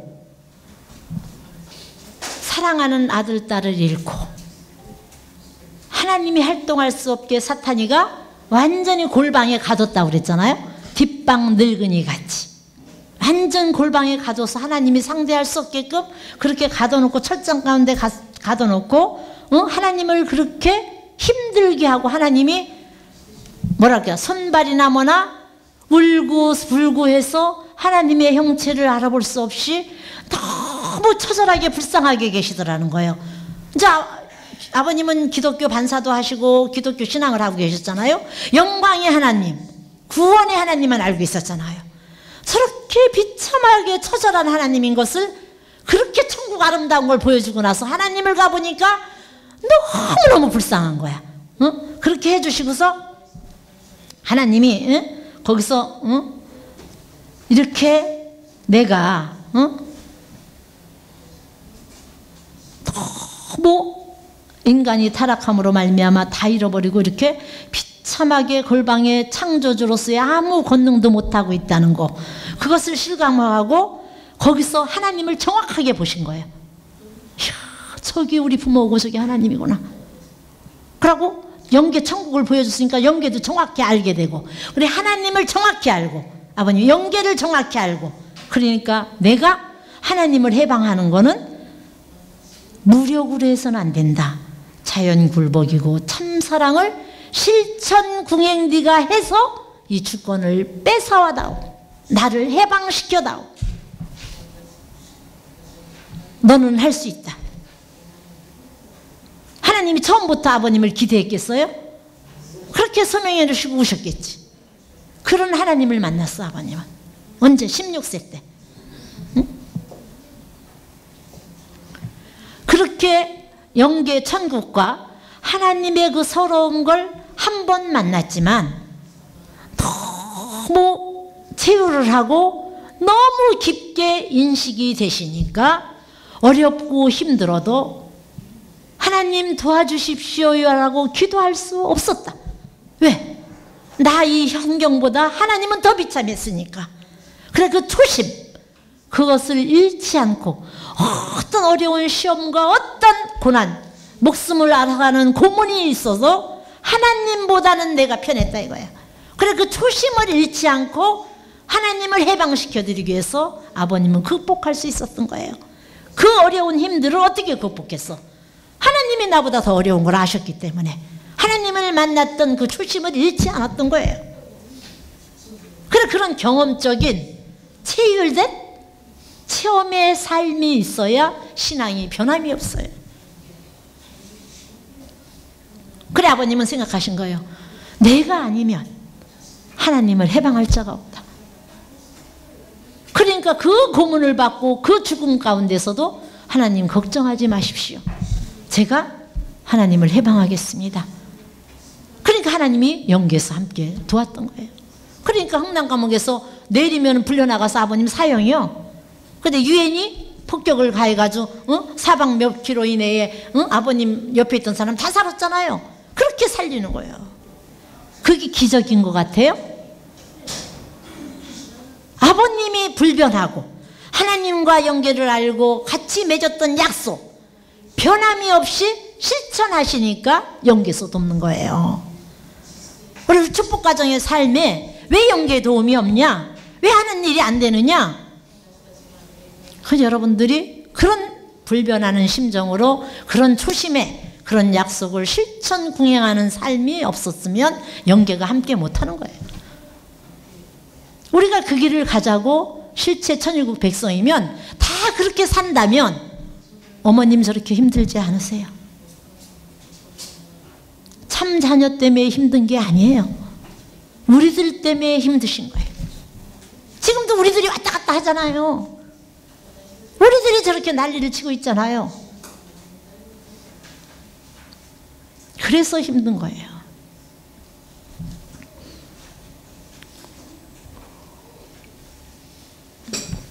봐요. 하나님의 존재와 속성의 첫 천성경 첫 페이지 23페이지에 나와요. 선생님은 일찍이 오랜 기도와 명상의 생활에서 실존하는 하나님과 드디어 상봉하여 절대 진리를 전수받게 되었습니다. 이게 찬성경 첫 소절이에요. 응? 오랜 기도와 그 하나님을 기도 속에서 천사가 들고 와서 천국을 보여주고 하나, 님을 만나러 갔더니 응? 비참한 거야. 부모 자식 간의 인연으로 내 부모인 걸 알았어. 16세 어린 나이에 받고 얼마나 충격이 컸겠어요. 얼마나 결심이 섰겠어. 부탁하지 않아도 바라보시는 눈빛. 그걸 잊을 수가 없는 거예요. 하나님의 마음의 눈빛을. 알고 인식하는 것이 원, 원칙이 아니라는 것입니다. 인식하고 알도록 되어 있다는 것입니다. 마음이 느끼면은 몸으로 알고 실천 궁행하는 게 원칙이라는 거예요. 응? 정지의예요. 그래서 하나님을 만나야 돼요. 응? 다시 말하면 체율적 입장을 어떻게 우리가 확정 짓느냐 하는 문제 이것이 문제라는 것입니다.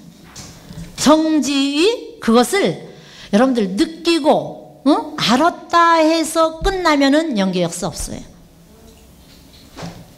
체휼할 수 있게끔 그건 실천 궁행 무엇으로 참 사랑으로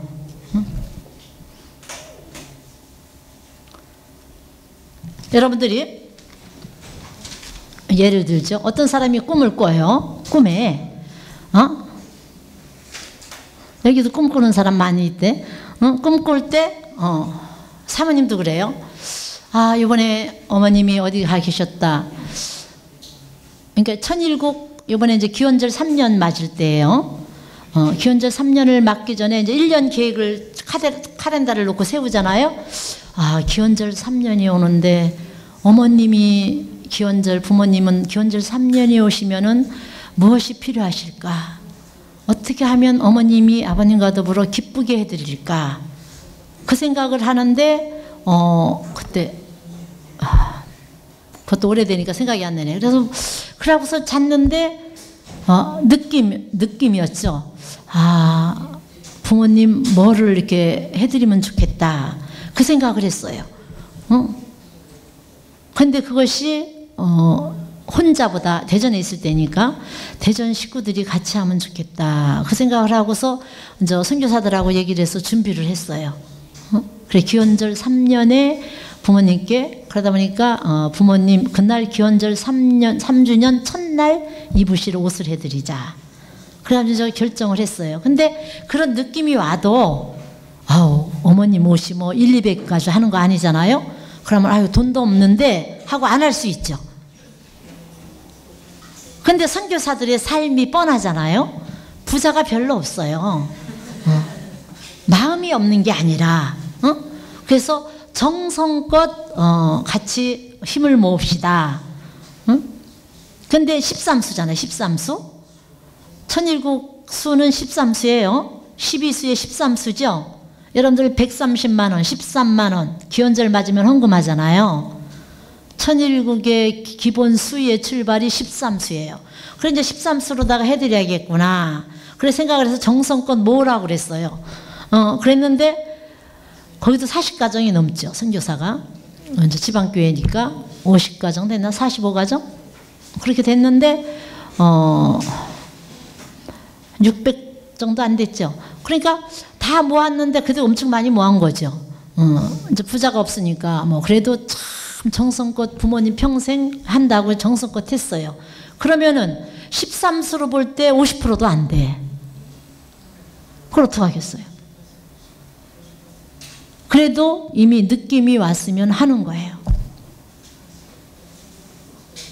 그럼 내가 두 달 사은비 합치면 된다. 하자. 음. 그러고 이제 그 재직회에서 어, 거기는 모심의 헌금이 있어요. 재직회에서 1년에 어, 300만, 300만 원까지 모심 헌금을 쓸 수가 있어요.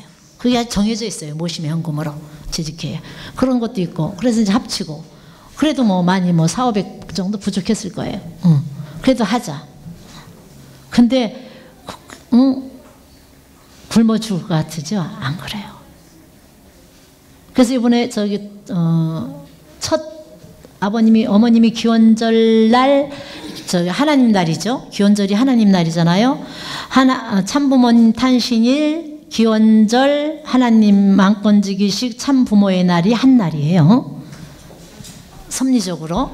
왜냐하면 아버님이 탄생한 날이 하나님 날이고 그날이 부모의 날이고 귀원절이에요. 그래서 어, 지금은 저 카렌다를 양력 음력을 철폐하고 천일국으로 만들 수 없기 때문에 그냥 음력으로 쓰고 있는 것 뿐이에요. 그래서 이제 그날 하는데 그날 어머님이 하얀 한복에 수놓은 거 캐, 저기 촛불 점화하시고 커팅하신 한복이 있어요. 그 한복을 대전교구에서 해드린 거예요. 음? 근데 해드렸어요. 근데 6개월 전에 준비한 거예요. 6개월 동안 정성 들여서. 음? 그 역사적인 옷이죠. 근데 그날 그걸 얼마나 정성 들였던지 거기 천정궁의 사람들이 하는 얘기예요. 얼마나 정성 들였걸래 어머님이 그 옷을 입으셨는데 응. 30대 후반, 40대 초반으로 보이더라는 거예요. 그렇게 그건 연계 나이잖아요. 그렇게 아름다우실 수가 없고 옛날 어머니 모습이 아닐 정도로 빛나더래요. 천정궁 그 경배식에 이제 입고 나오셨는데 응? 그게 뭐예요? 사랑 가운데 거하니까 그렇게 다 아름답게 보이는 거예요. 정성 들이니까. 그래서 부모님은 내가 이제 부모님을 모셔오면 어, 여러분들이 참 부모님은 어, 무엇을 먹고 사시느냐? 영계는 정성을 먹고 사는 거예요. 물질, 돈 그거 아니에요. 정성을 먹고 사는 걸 여러분들이 체휼해야 돼요. 그러니까 우리도 정성을 먹고 산다. 그래서 교구자님 철학은 죽은 고기는 먹지 않는다예요. 누가 정성 없이 얼굴을 나타내기 위해서 뭐 선물을 사왔다. 그러면 아버님도 즉각 그 자리에서 누구 줘버려요. 근데 정성 들인 거는 고구마 한 박스 가져가도요. 구워와라, 삶아와라, 튀겨와라. 그러고 다 잡수세요. 근데 아무리 좋은 응? 양복을 해다 드려도 그 자리에서 누구 줘버려요. 자랑하기 위해서 해온 것. 아버님은 정확하세요. 그러니까 정성을 먹고 산다는 얘기는 사랑을 먹고 사는 거예요. 남한테 자랑하고 싶고 나타나기 위한 것은 정성과 사랑이 아니에요. 내가 나타난다. 사탄을 불러들이니까 아버님이 그걸 접수하면 사탄이 쌓이잖아요. 아버님은 딱 잘라버리는 거예요. 분립하는 거죠. 그런 부모님을 여러분들이 알면 어떻게 정성 들이고 살아야 되나 체질적인 입장을 그렇게 여러분들이 간직을 하고 그렇게 모셔보고 살아봐야 변함이 없어요. 이게 하나님의 존재가 속성의 첫 장에 나오는 거고요. 그래서 왜 여러분들에게 요새 자꾸 어? 원리 공부를 시키느냐? 여기 나오죠. 음. 말씀을 통해서 하나님과 연결되는 것이기 때문에 우리는 말씀이 아니고는 하나님과 연결될 수 없습니다. 말씀 없이는 연결성을 찾을 수 없습니다. 말씀을 선포할 실체가 없으면 아무것도 안 됩니다. 그래서 왜 조상들이 주체가 될 수 없느냐? 말씀을 선포할 실체가 없기 때문에. 그래서 여러분들이 전도 활동을 하는 거, 전단지를 하루에 12장 이상 돌린다. 이것을 실천 공행하는 건 하나님을 알고 연계를 알고 협조를 받기 위한 뭐라 밑거름이라고 생각하시면 돼요. 그래서 불변하고 하라는 거예요. 말씀 공부하면서 전단지를 하루에 12장 이상 교장님이 보던 안 보던 뿌리라고 하잖아요. 그것이 이것을 실천하는 거예요. 그래야 체질적인 신앙으로다가 연계 협조를 받을 수 있는 거예요. 하나님과 인간이 연결되는 것은 하나님의 사랑에 연결되는 것이 목적입니다. 근데 하나님의 사랑을 다 받고 싶지. 어떻게 해야 받아요? 아까 나오잖아요. 말씀을 선포할 실체가 없으면 연결이 안 돼요. 그래서 전단지 활동을 하라는 거예요. 자서전을 나눠준다. 아버지를 증거하기 위해서 나보다 그렇게 했을 때 하늘이 감동해서 연계가 도와주는 역사를 연결하는 거예요. 인간을 하나님과 연결시킬 수 있는 말씀을 선포하는 사람은 땅의 사람입니다. 하지만 그 사람이 전하는 말씀은 하나님의 말씀이기 때문에 그 말씀으로 새로운 사람이 빚어지는 것입니다. 내가 전단지를 말씀을 많이 알죠. 여러분들 삼부스피치 공부하고 말씀 전단지를 돌리지 않았다. 새롭게 내가 부활된다고 생각해요? 안 돼요. 원리적으로 볼 때.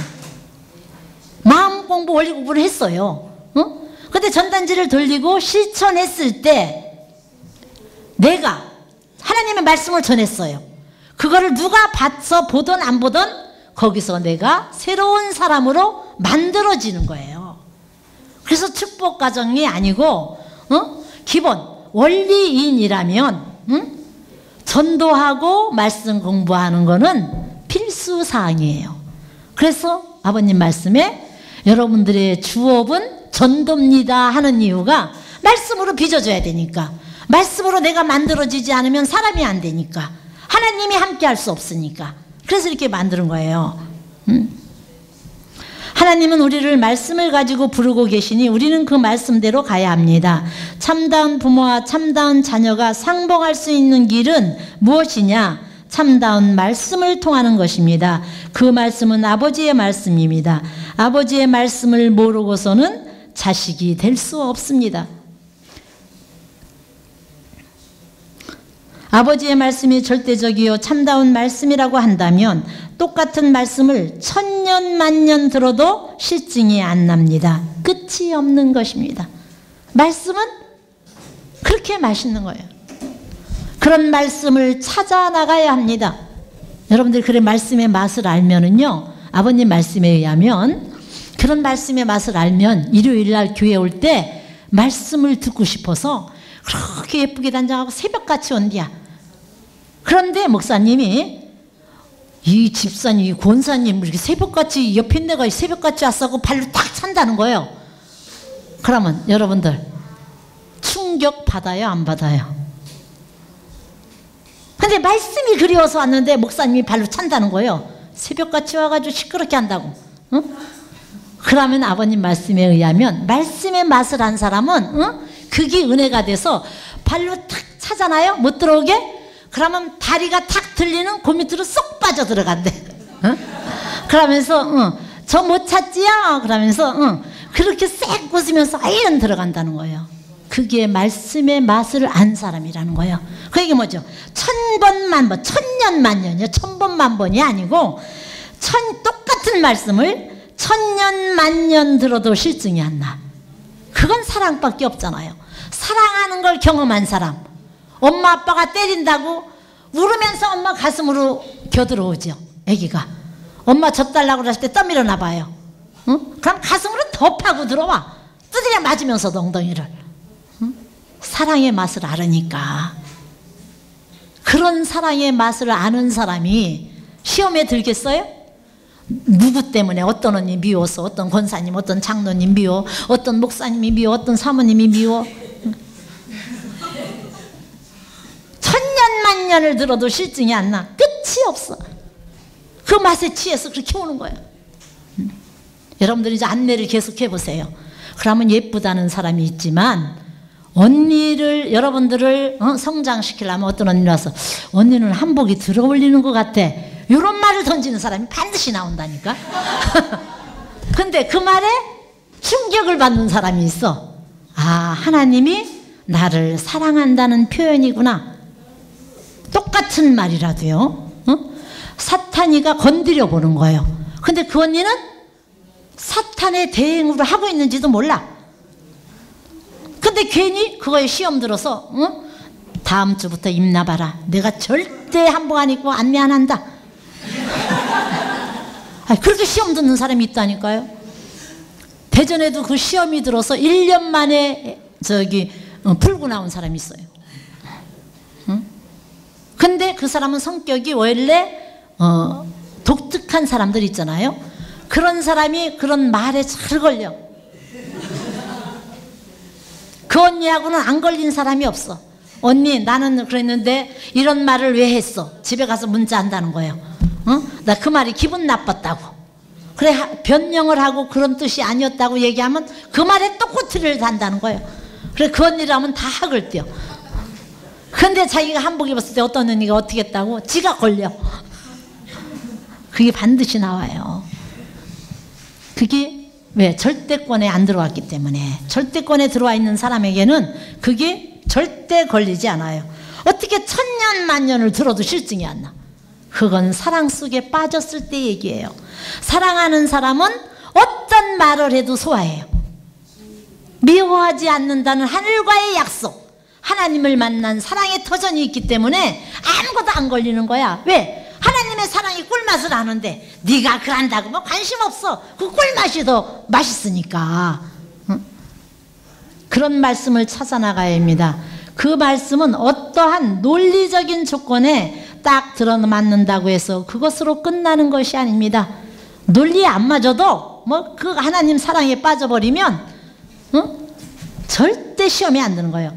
대원칙이면서 듣고 듣고 또 듣고 영원히 들어도 생명이 될 수 있는 말씀입니다. 그런 말씀이 올리고 천성경의 말씀이에요. 그래 그 말씀에 젖기 위해서 우리가 복귀의 길을 가고 그래 하나님과 그런 절대권 내에서 여러분들이 어, 하늘이 영계가 역사할 수 있는 나, 그 체율적인 신앙. 음? 네, 공개적으로 교육을 해서 얘기해요.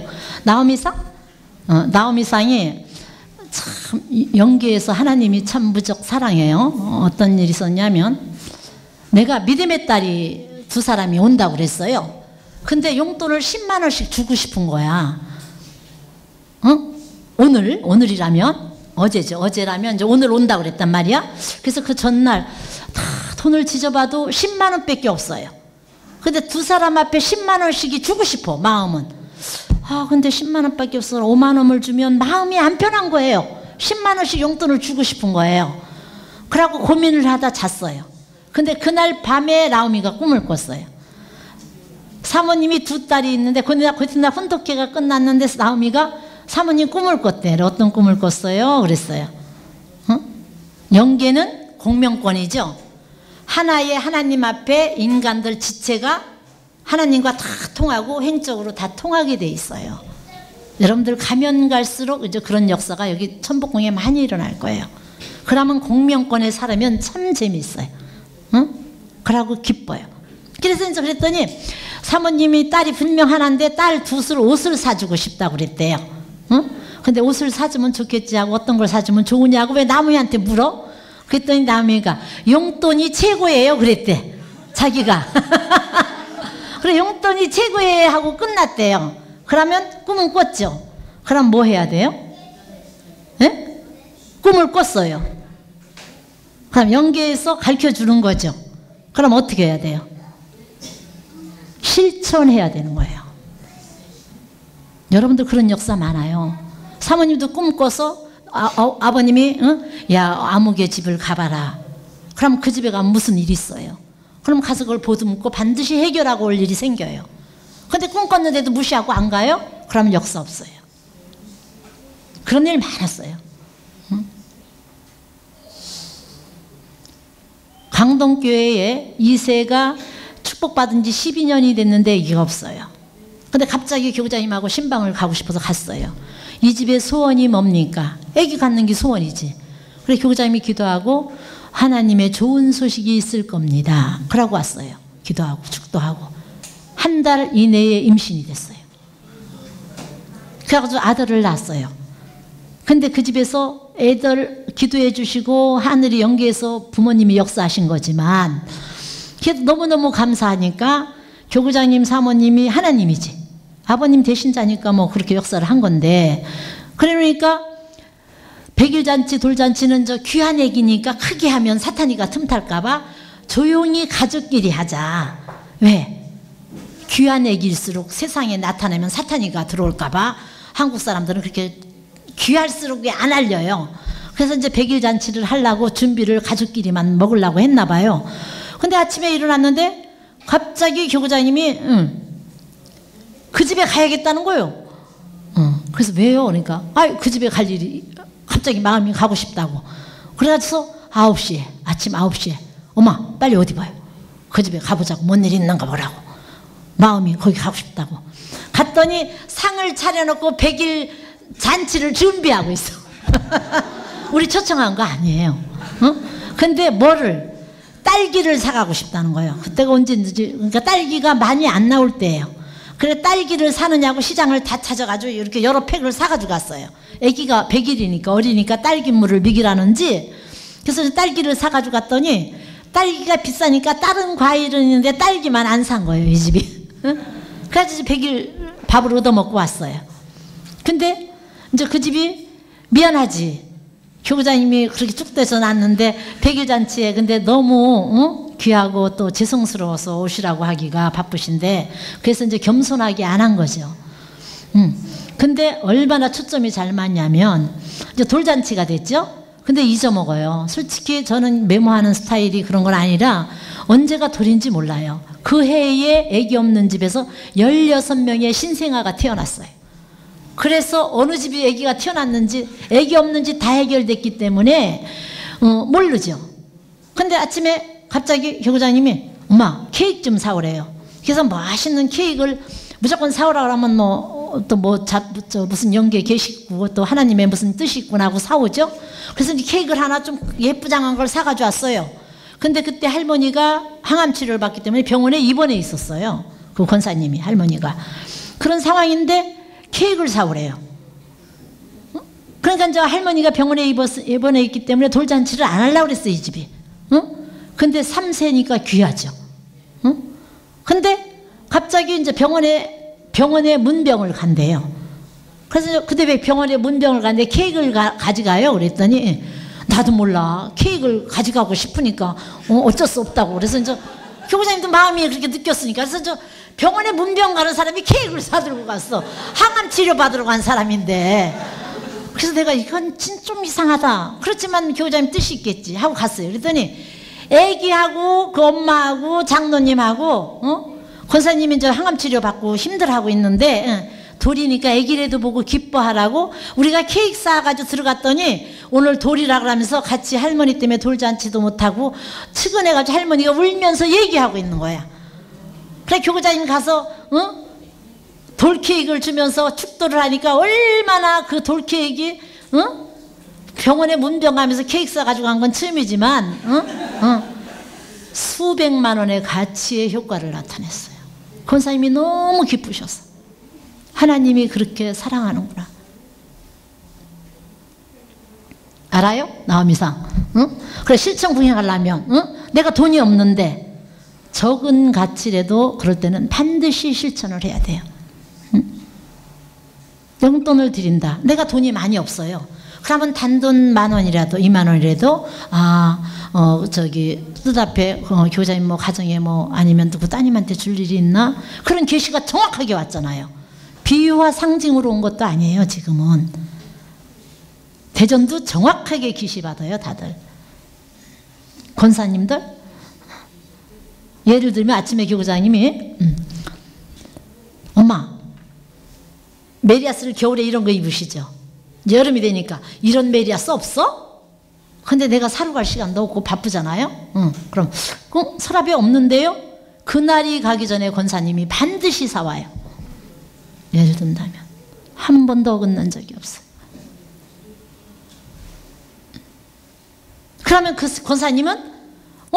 오늘 아침에 메리아스 얘기했는데 메리아스를 딱 네개를 사가지고 오는 거야. 권사님 어떻게 알고 사오셨어요? 교구장님 그냥 사다 드리고 싶어서 가져왔는데요.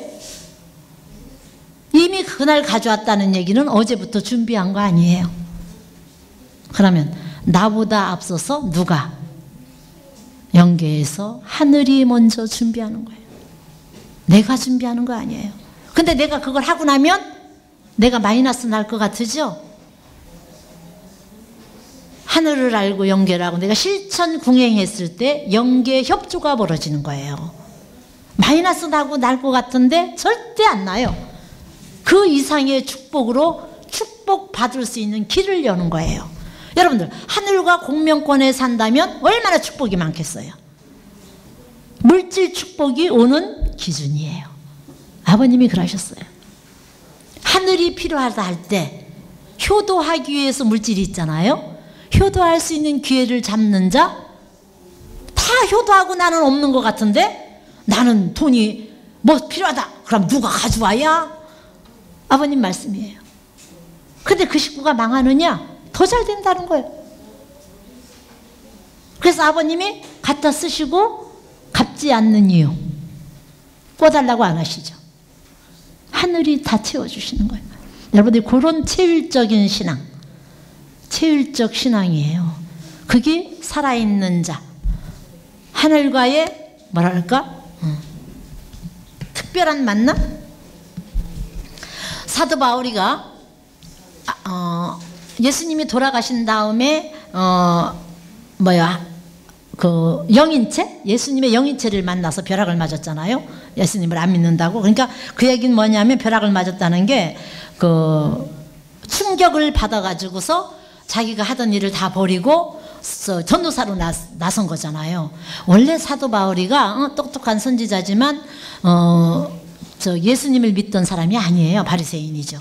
그렇게 살던 사람이 영적으로 예수님을 만났어요. 만나고 회심, 어? 마음을 돌이켜서 광야 시대, 광야. 그걸 뭐죠? 17년 동안 사막을 전도하고 다녔어요. 그래서 성경 역사는 사도 바울이에요, 100%. 마테마가 누가? 그리고 그 뒤에 내용들 다 보세요. 다 사도 바울 얘기예요. 그 사람 예수님을 직접 육신 쓴 모습을 본 사람이 아니에요. 영적으로 만났지만 그래 충격을 받은 거예요. 그러니까 여러분들이 그렇게 체일절 신앙을 하면 어느 한순간 영원히 나만이 간직할 수 있는 하나님의 개성질 일체의 충격, 사랑을 체휼하게 돼요. 그런 재산을 가지고 살아야 변함이 없어요. 조금 바람이 불고 어? 조금 누가 뭐라 그러면 삐져가지고서 어? 저기 교회도 안 나오고 어? 뭐 헌금하던 것도 안 하고 그건 배입이죠. 여러분들이 많이 성숙해야 된다는 거 어? 조금 어, 여러분들 충격적이라 그럴긴 뭐하지만 어, 많이 성장했지만 어? 여러분들이 지난주 지난주에 어, 기록에 남으니까 또 지방에서 누가 이거 유튜브 보다가 천복궁 언니들은 또 다 어티 타고 그러면 안 되는데 지난주에 여기 교장님이 한 30분 말씀해 주셨어요. 지나온 지온 사람들. 근데 사모님이 앉아서 무슨 생각을 했냐면 함부로 생각하면 안 되죠. 응? 어, 지난주에는 또 재밌는 게 천복궁 그러니까 북부 지역이니까 토요일 날이 북부 지역이죠. 지난주 토요일 날 북부 지역 훈독회 때 아침에 앞에 가서 이제 앉아서 훈독회를 하기 전에 사모님이 생각을 했어요. 아, 북부가 제일 멀다는데 잠도 안 자고 말씀이 그리워서 저렇게 사람들이 많이 나왔나? 응? 야, 참 멀리서 어떻게 저렇게 왔을까? 그 생각을 딱 하는 순간 사모님이 눈 뜨고 있는데 그 사모님이 앉는 자리가 그 촛대 촛불 켜놓은 데잖아요. 그 온 사람들이 온 사람들의 조상들이 일렬로 서서 또 아무개 조상입니다. 아무개 조상입니다 하고 쫙 인사하고 지나가는 거예요. 그 얘기는 뭐예요? 조상들이 데리고 왔다 이거예요. 그래 내가 아 새벽같이 잠도 안 자고 말씀이 그리워서 왔나? 그 생각을 했더니 조상들이 와서 다 인사하고 가는 거야. 그래 내가 아유 생각 잘못해서 몇백 명 인사받느냐고 죽을 뻔 지금 그 시대예요. 여러분들이 먼저 생각을 사실은 안, 안 하려고 교장님도 절대 엄마 들으면 들은 대로 끝나. 그러고 살죠. 근데 지난주에 여러분들이 교장님 말씀을 듣고 있는데 사모님이 앉아서 순간 응? 아, 저 교장님의 말씀을 몇 프로나 알아들을까? 그 생각 나죠? 이 사람들 지금 사모님 말씀을 해도 몇 프로나 알아듣겠어요? 그렇지만은 사모님은 애기면 애기대로 성장시키고 때가 되면 응? 받아 먹을 때가 있겠지. 그 심정으로 해요. 그렇다고 안 하면 안 되잖아요.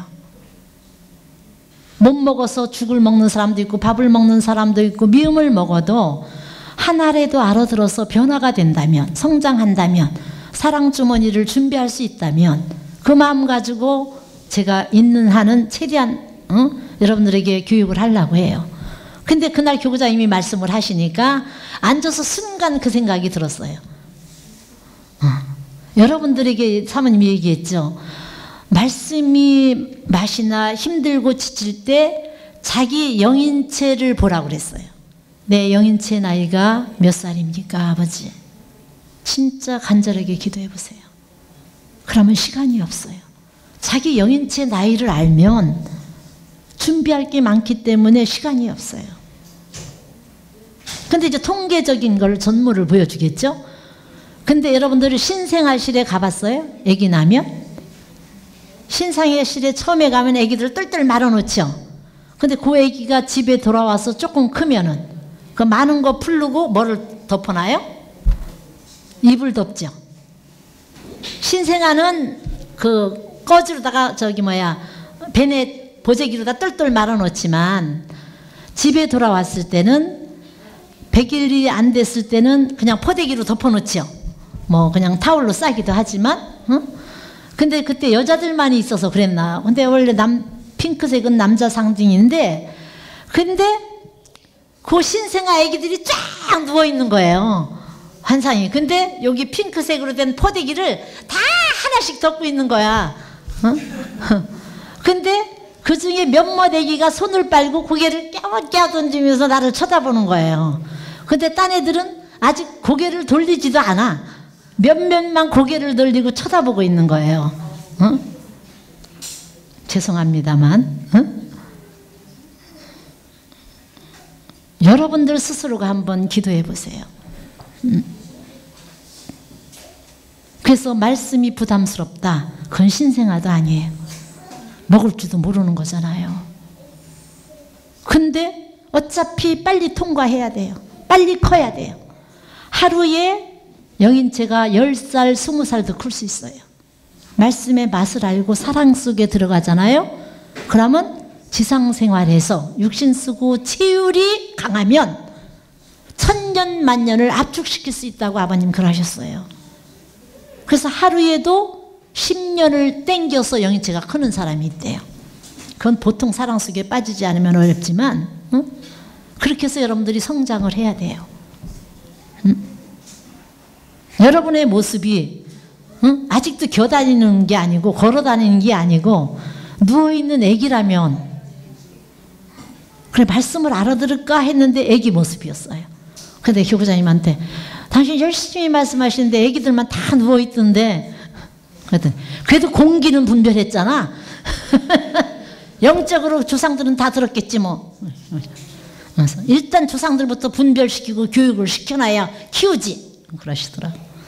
그건 좋게 이제 교부장님은 좋게 생각하시는 거예요. 여러분들이 실천 공행해서 영계 협조를 조상 협조를 받을 수 있는 모습이 돼야 협조하는 거예요. 다 영계선 돕고 싶죠. 조상들은 돕고 싶죠.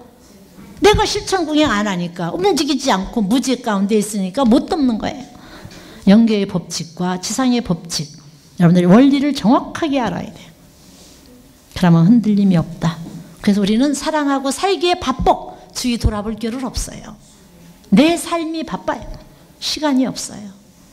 여러분들이 지금 한 살이라면, 두 살이라면, 한 살이라면, 어떻게 키우겠어요? 시간이 없죠. 그런 걸 알고 감사하게 응? 사역자 하고 어렵고 힘들지만 하루에 내가 12장이든 40장이든 자기 기준을 세우고 하세요. 목표를 설정해 놓고 이제 실천하는 삶, 삶, 실천하는 삶으로 여러분들이 축복받는 성화 삼주기. 성화 삼주기가 지나면 더 큰 영계가 도와주고 싶어 할 거예요. 영계 역사가 성화 삼주기가 지나면 더 많을 거예요. 저는 믿어요. 왜냐하면 가면 갈수록 기원절 어, 천일국이 기초가 7년이잖아요. 2020까지잖아요. 2020까지 지금 이대로 가면 뭐 하자는 거예요? 천일국 기초가 되면은요, 여러분 하나하고 기성교회 하나하고 아버님은 안 바꾼다 그랬어요. 그러면 여러분들이 사역자가 돼서 기성교 하나씩 가서 전도사로서 다 부흥해하고 전도해오는 역사가 일어나요. 그걸 위해서 여러분들을 사역자 공부시키는 거예요. 그래서 낮밤 없이 열심히 공부하시고 응? 말씀 공부 열심히 하시고 이번에 성화 3주기를 맞아서 우리 지금 벌써 900페이지 읽어요. 이렇게 많이 읽었어요. 응? 이번에 천성경 한 번 완독하잖아요. 얼마나 행복해요. 응? 말씀만이 나를 변화시키니까. 말씀만이 우리가 맛을 알고 사랑을 저축할 수 있으니까. 음? 사랑 안에서만이 오병이의 기적. 그죠? 응? 고기 두 마리하고 떡 다섯 쪽 가지고서 응, 몇천 명이 먹고도 다섯 광주리가 남았어. 예수님 시대에. 응? 이스라엘 가면은요, 오병이어 그림이 있어요. 그 교회에 있어요. 집회하시던 곳. 어떻게 떡 보리떡 다섯 개 하고 어? 고기 두 마리를 몇천 명을 먹이고서도 다섯 광주리가 남았어요. 우리가 아버님 말씀을 듣다 보면은 점심 먹어봤어요? 아버님 뭐라, 뭐라 그래? 어, 12시가 넘었구만. 점심 먹자고 아버님이 물 잡수시면서 짭짭짭 따라하래요. 그럼 우리가 짭짭짭 그러면 배불르지? 그러면 배불러요. 물 한 컵 가지고 수천 명이 먹어. 그게 말씀의 맛이에요. 먹지 않았는데 먹은 것 같이 부르고 기쁘고 응? 사랑에 취하면은요 시간 가는 줄 모르죠. 그 맛을 여러분들이 느껴야 교회에 오는 것도 가볍고 즐겁고 여러분들 지금 4개월 교장님 제가 원지 4개월 지났는데 여러분들 처음 스타트의 얼굴하고 지금하고 너무 많이 변하고 있어요. 여러분들이 굉장히 아름다워진 거 알아요? 너무 예뻐졌어요. 그때 내가 옆 사람 보세요 그랬어요. 처음에. 그때는 그렇게 나는 야 천복궁에는 왜 이렇게 못생긴 사람만 불러다 놨나.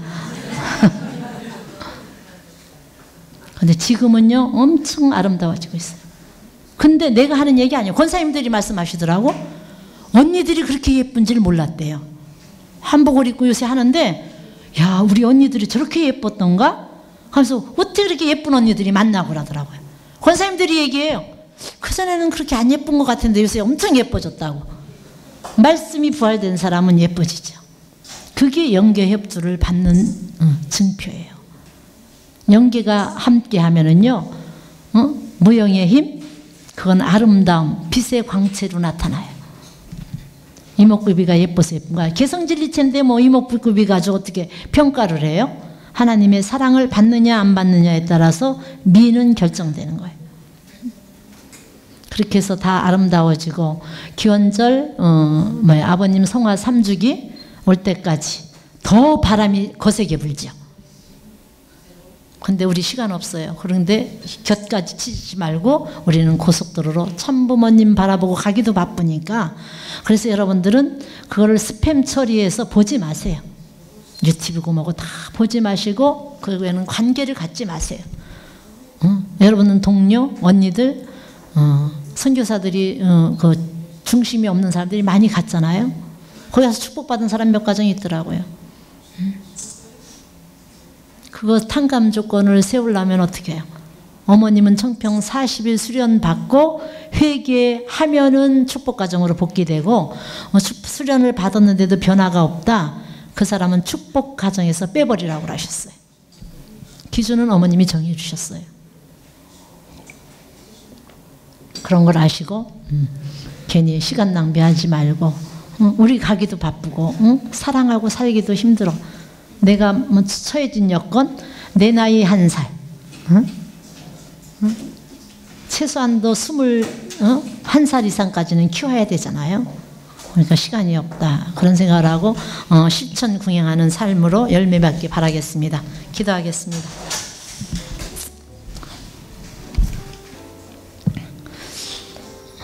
존귀하신 하늘 부모님, 승리하신 천지인 참 부모님. 수많은 복귀 섭리 역사를 부모님의 고단하심과 외롭고 힘드신 터전 위에서 승리하시고 저희들에게도 천지인 참부모가 될 수 있는 길을 여시기까지 말 못하는 아픔을 감당하시면서도 너희 사랑하는 아들, 딸들이 생산되는 것을 바라보시며 아버님은 고통보다는 생산의 기쁨에 찬미를 부르시며 저희들을 끌어안아 이렇게 이끌어 주셨습니다. 그 사랑과 은혜를 생각할 적마다 저희들이 잠시 잠깐이라도 아버지와 관계없이 가지 말아야 할 방향과 가지 발을 내디디면 안 되는 낭떠러지로 내딛고 있지는 않나 항상 염려하시며 영계와 하늘에서 저희들을 인도하고 계시는 것을 알았습니다.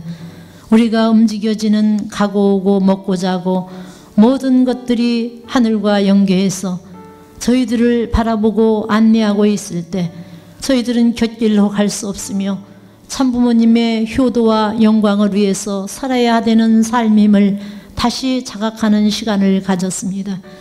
부모님 진심으로 감사 올려옵니다. 저희들이 무지 가운데 있었기 때문에 하늘을 알지 못했소 부모님을 알지 못해 불효한 삶을 살아왔습니다. 이제는 천일국 백성으로서 실제 천일국을 이뤄주신 부모님께 감사하며 거기에 합당한 모습으로 갖춰가기 위해서 원리를 무장하고 그 심정의 터전 위에 부모님께 효도하는 실천 궁행의 삶으로 전도의 일선에서 아버지를 증거해요.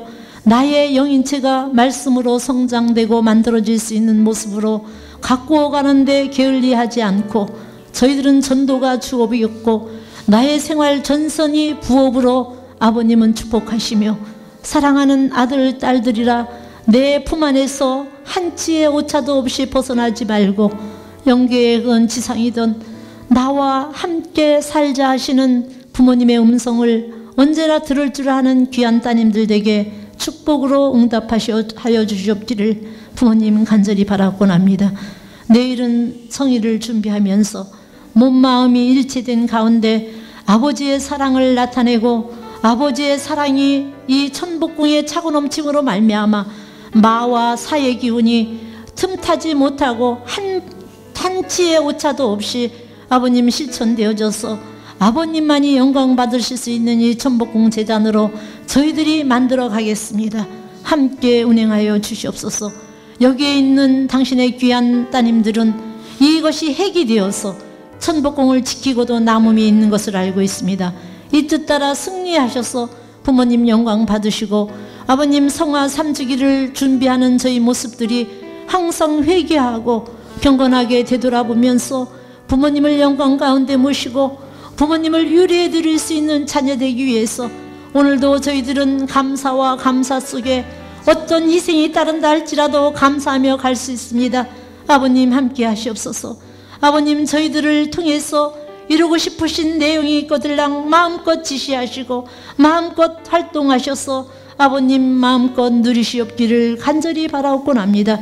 이후에 되어지는 모든 일정과 아버님 운행되는 내용에도 항상 하늘만이 직접 주관하시옵기를 간절히 바라고 나오면서 축복중심가정 홍성순 이름으로 보고하며 축원하여 싸움나이다.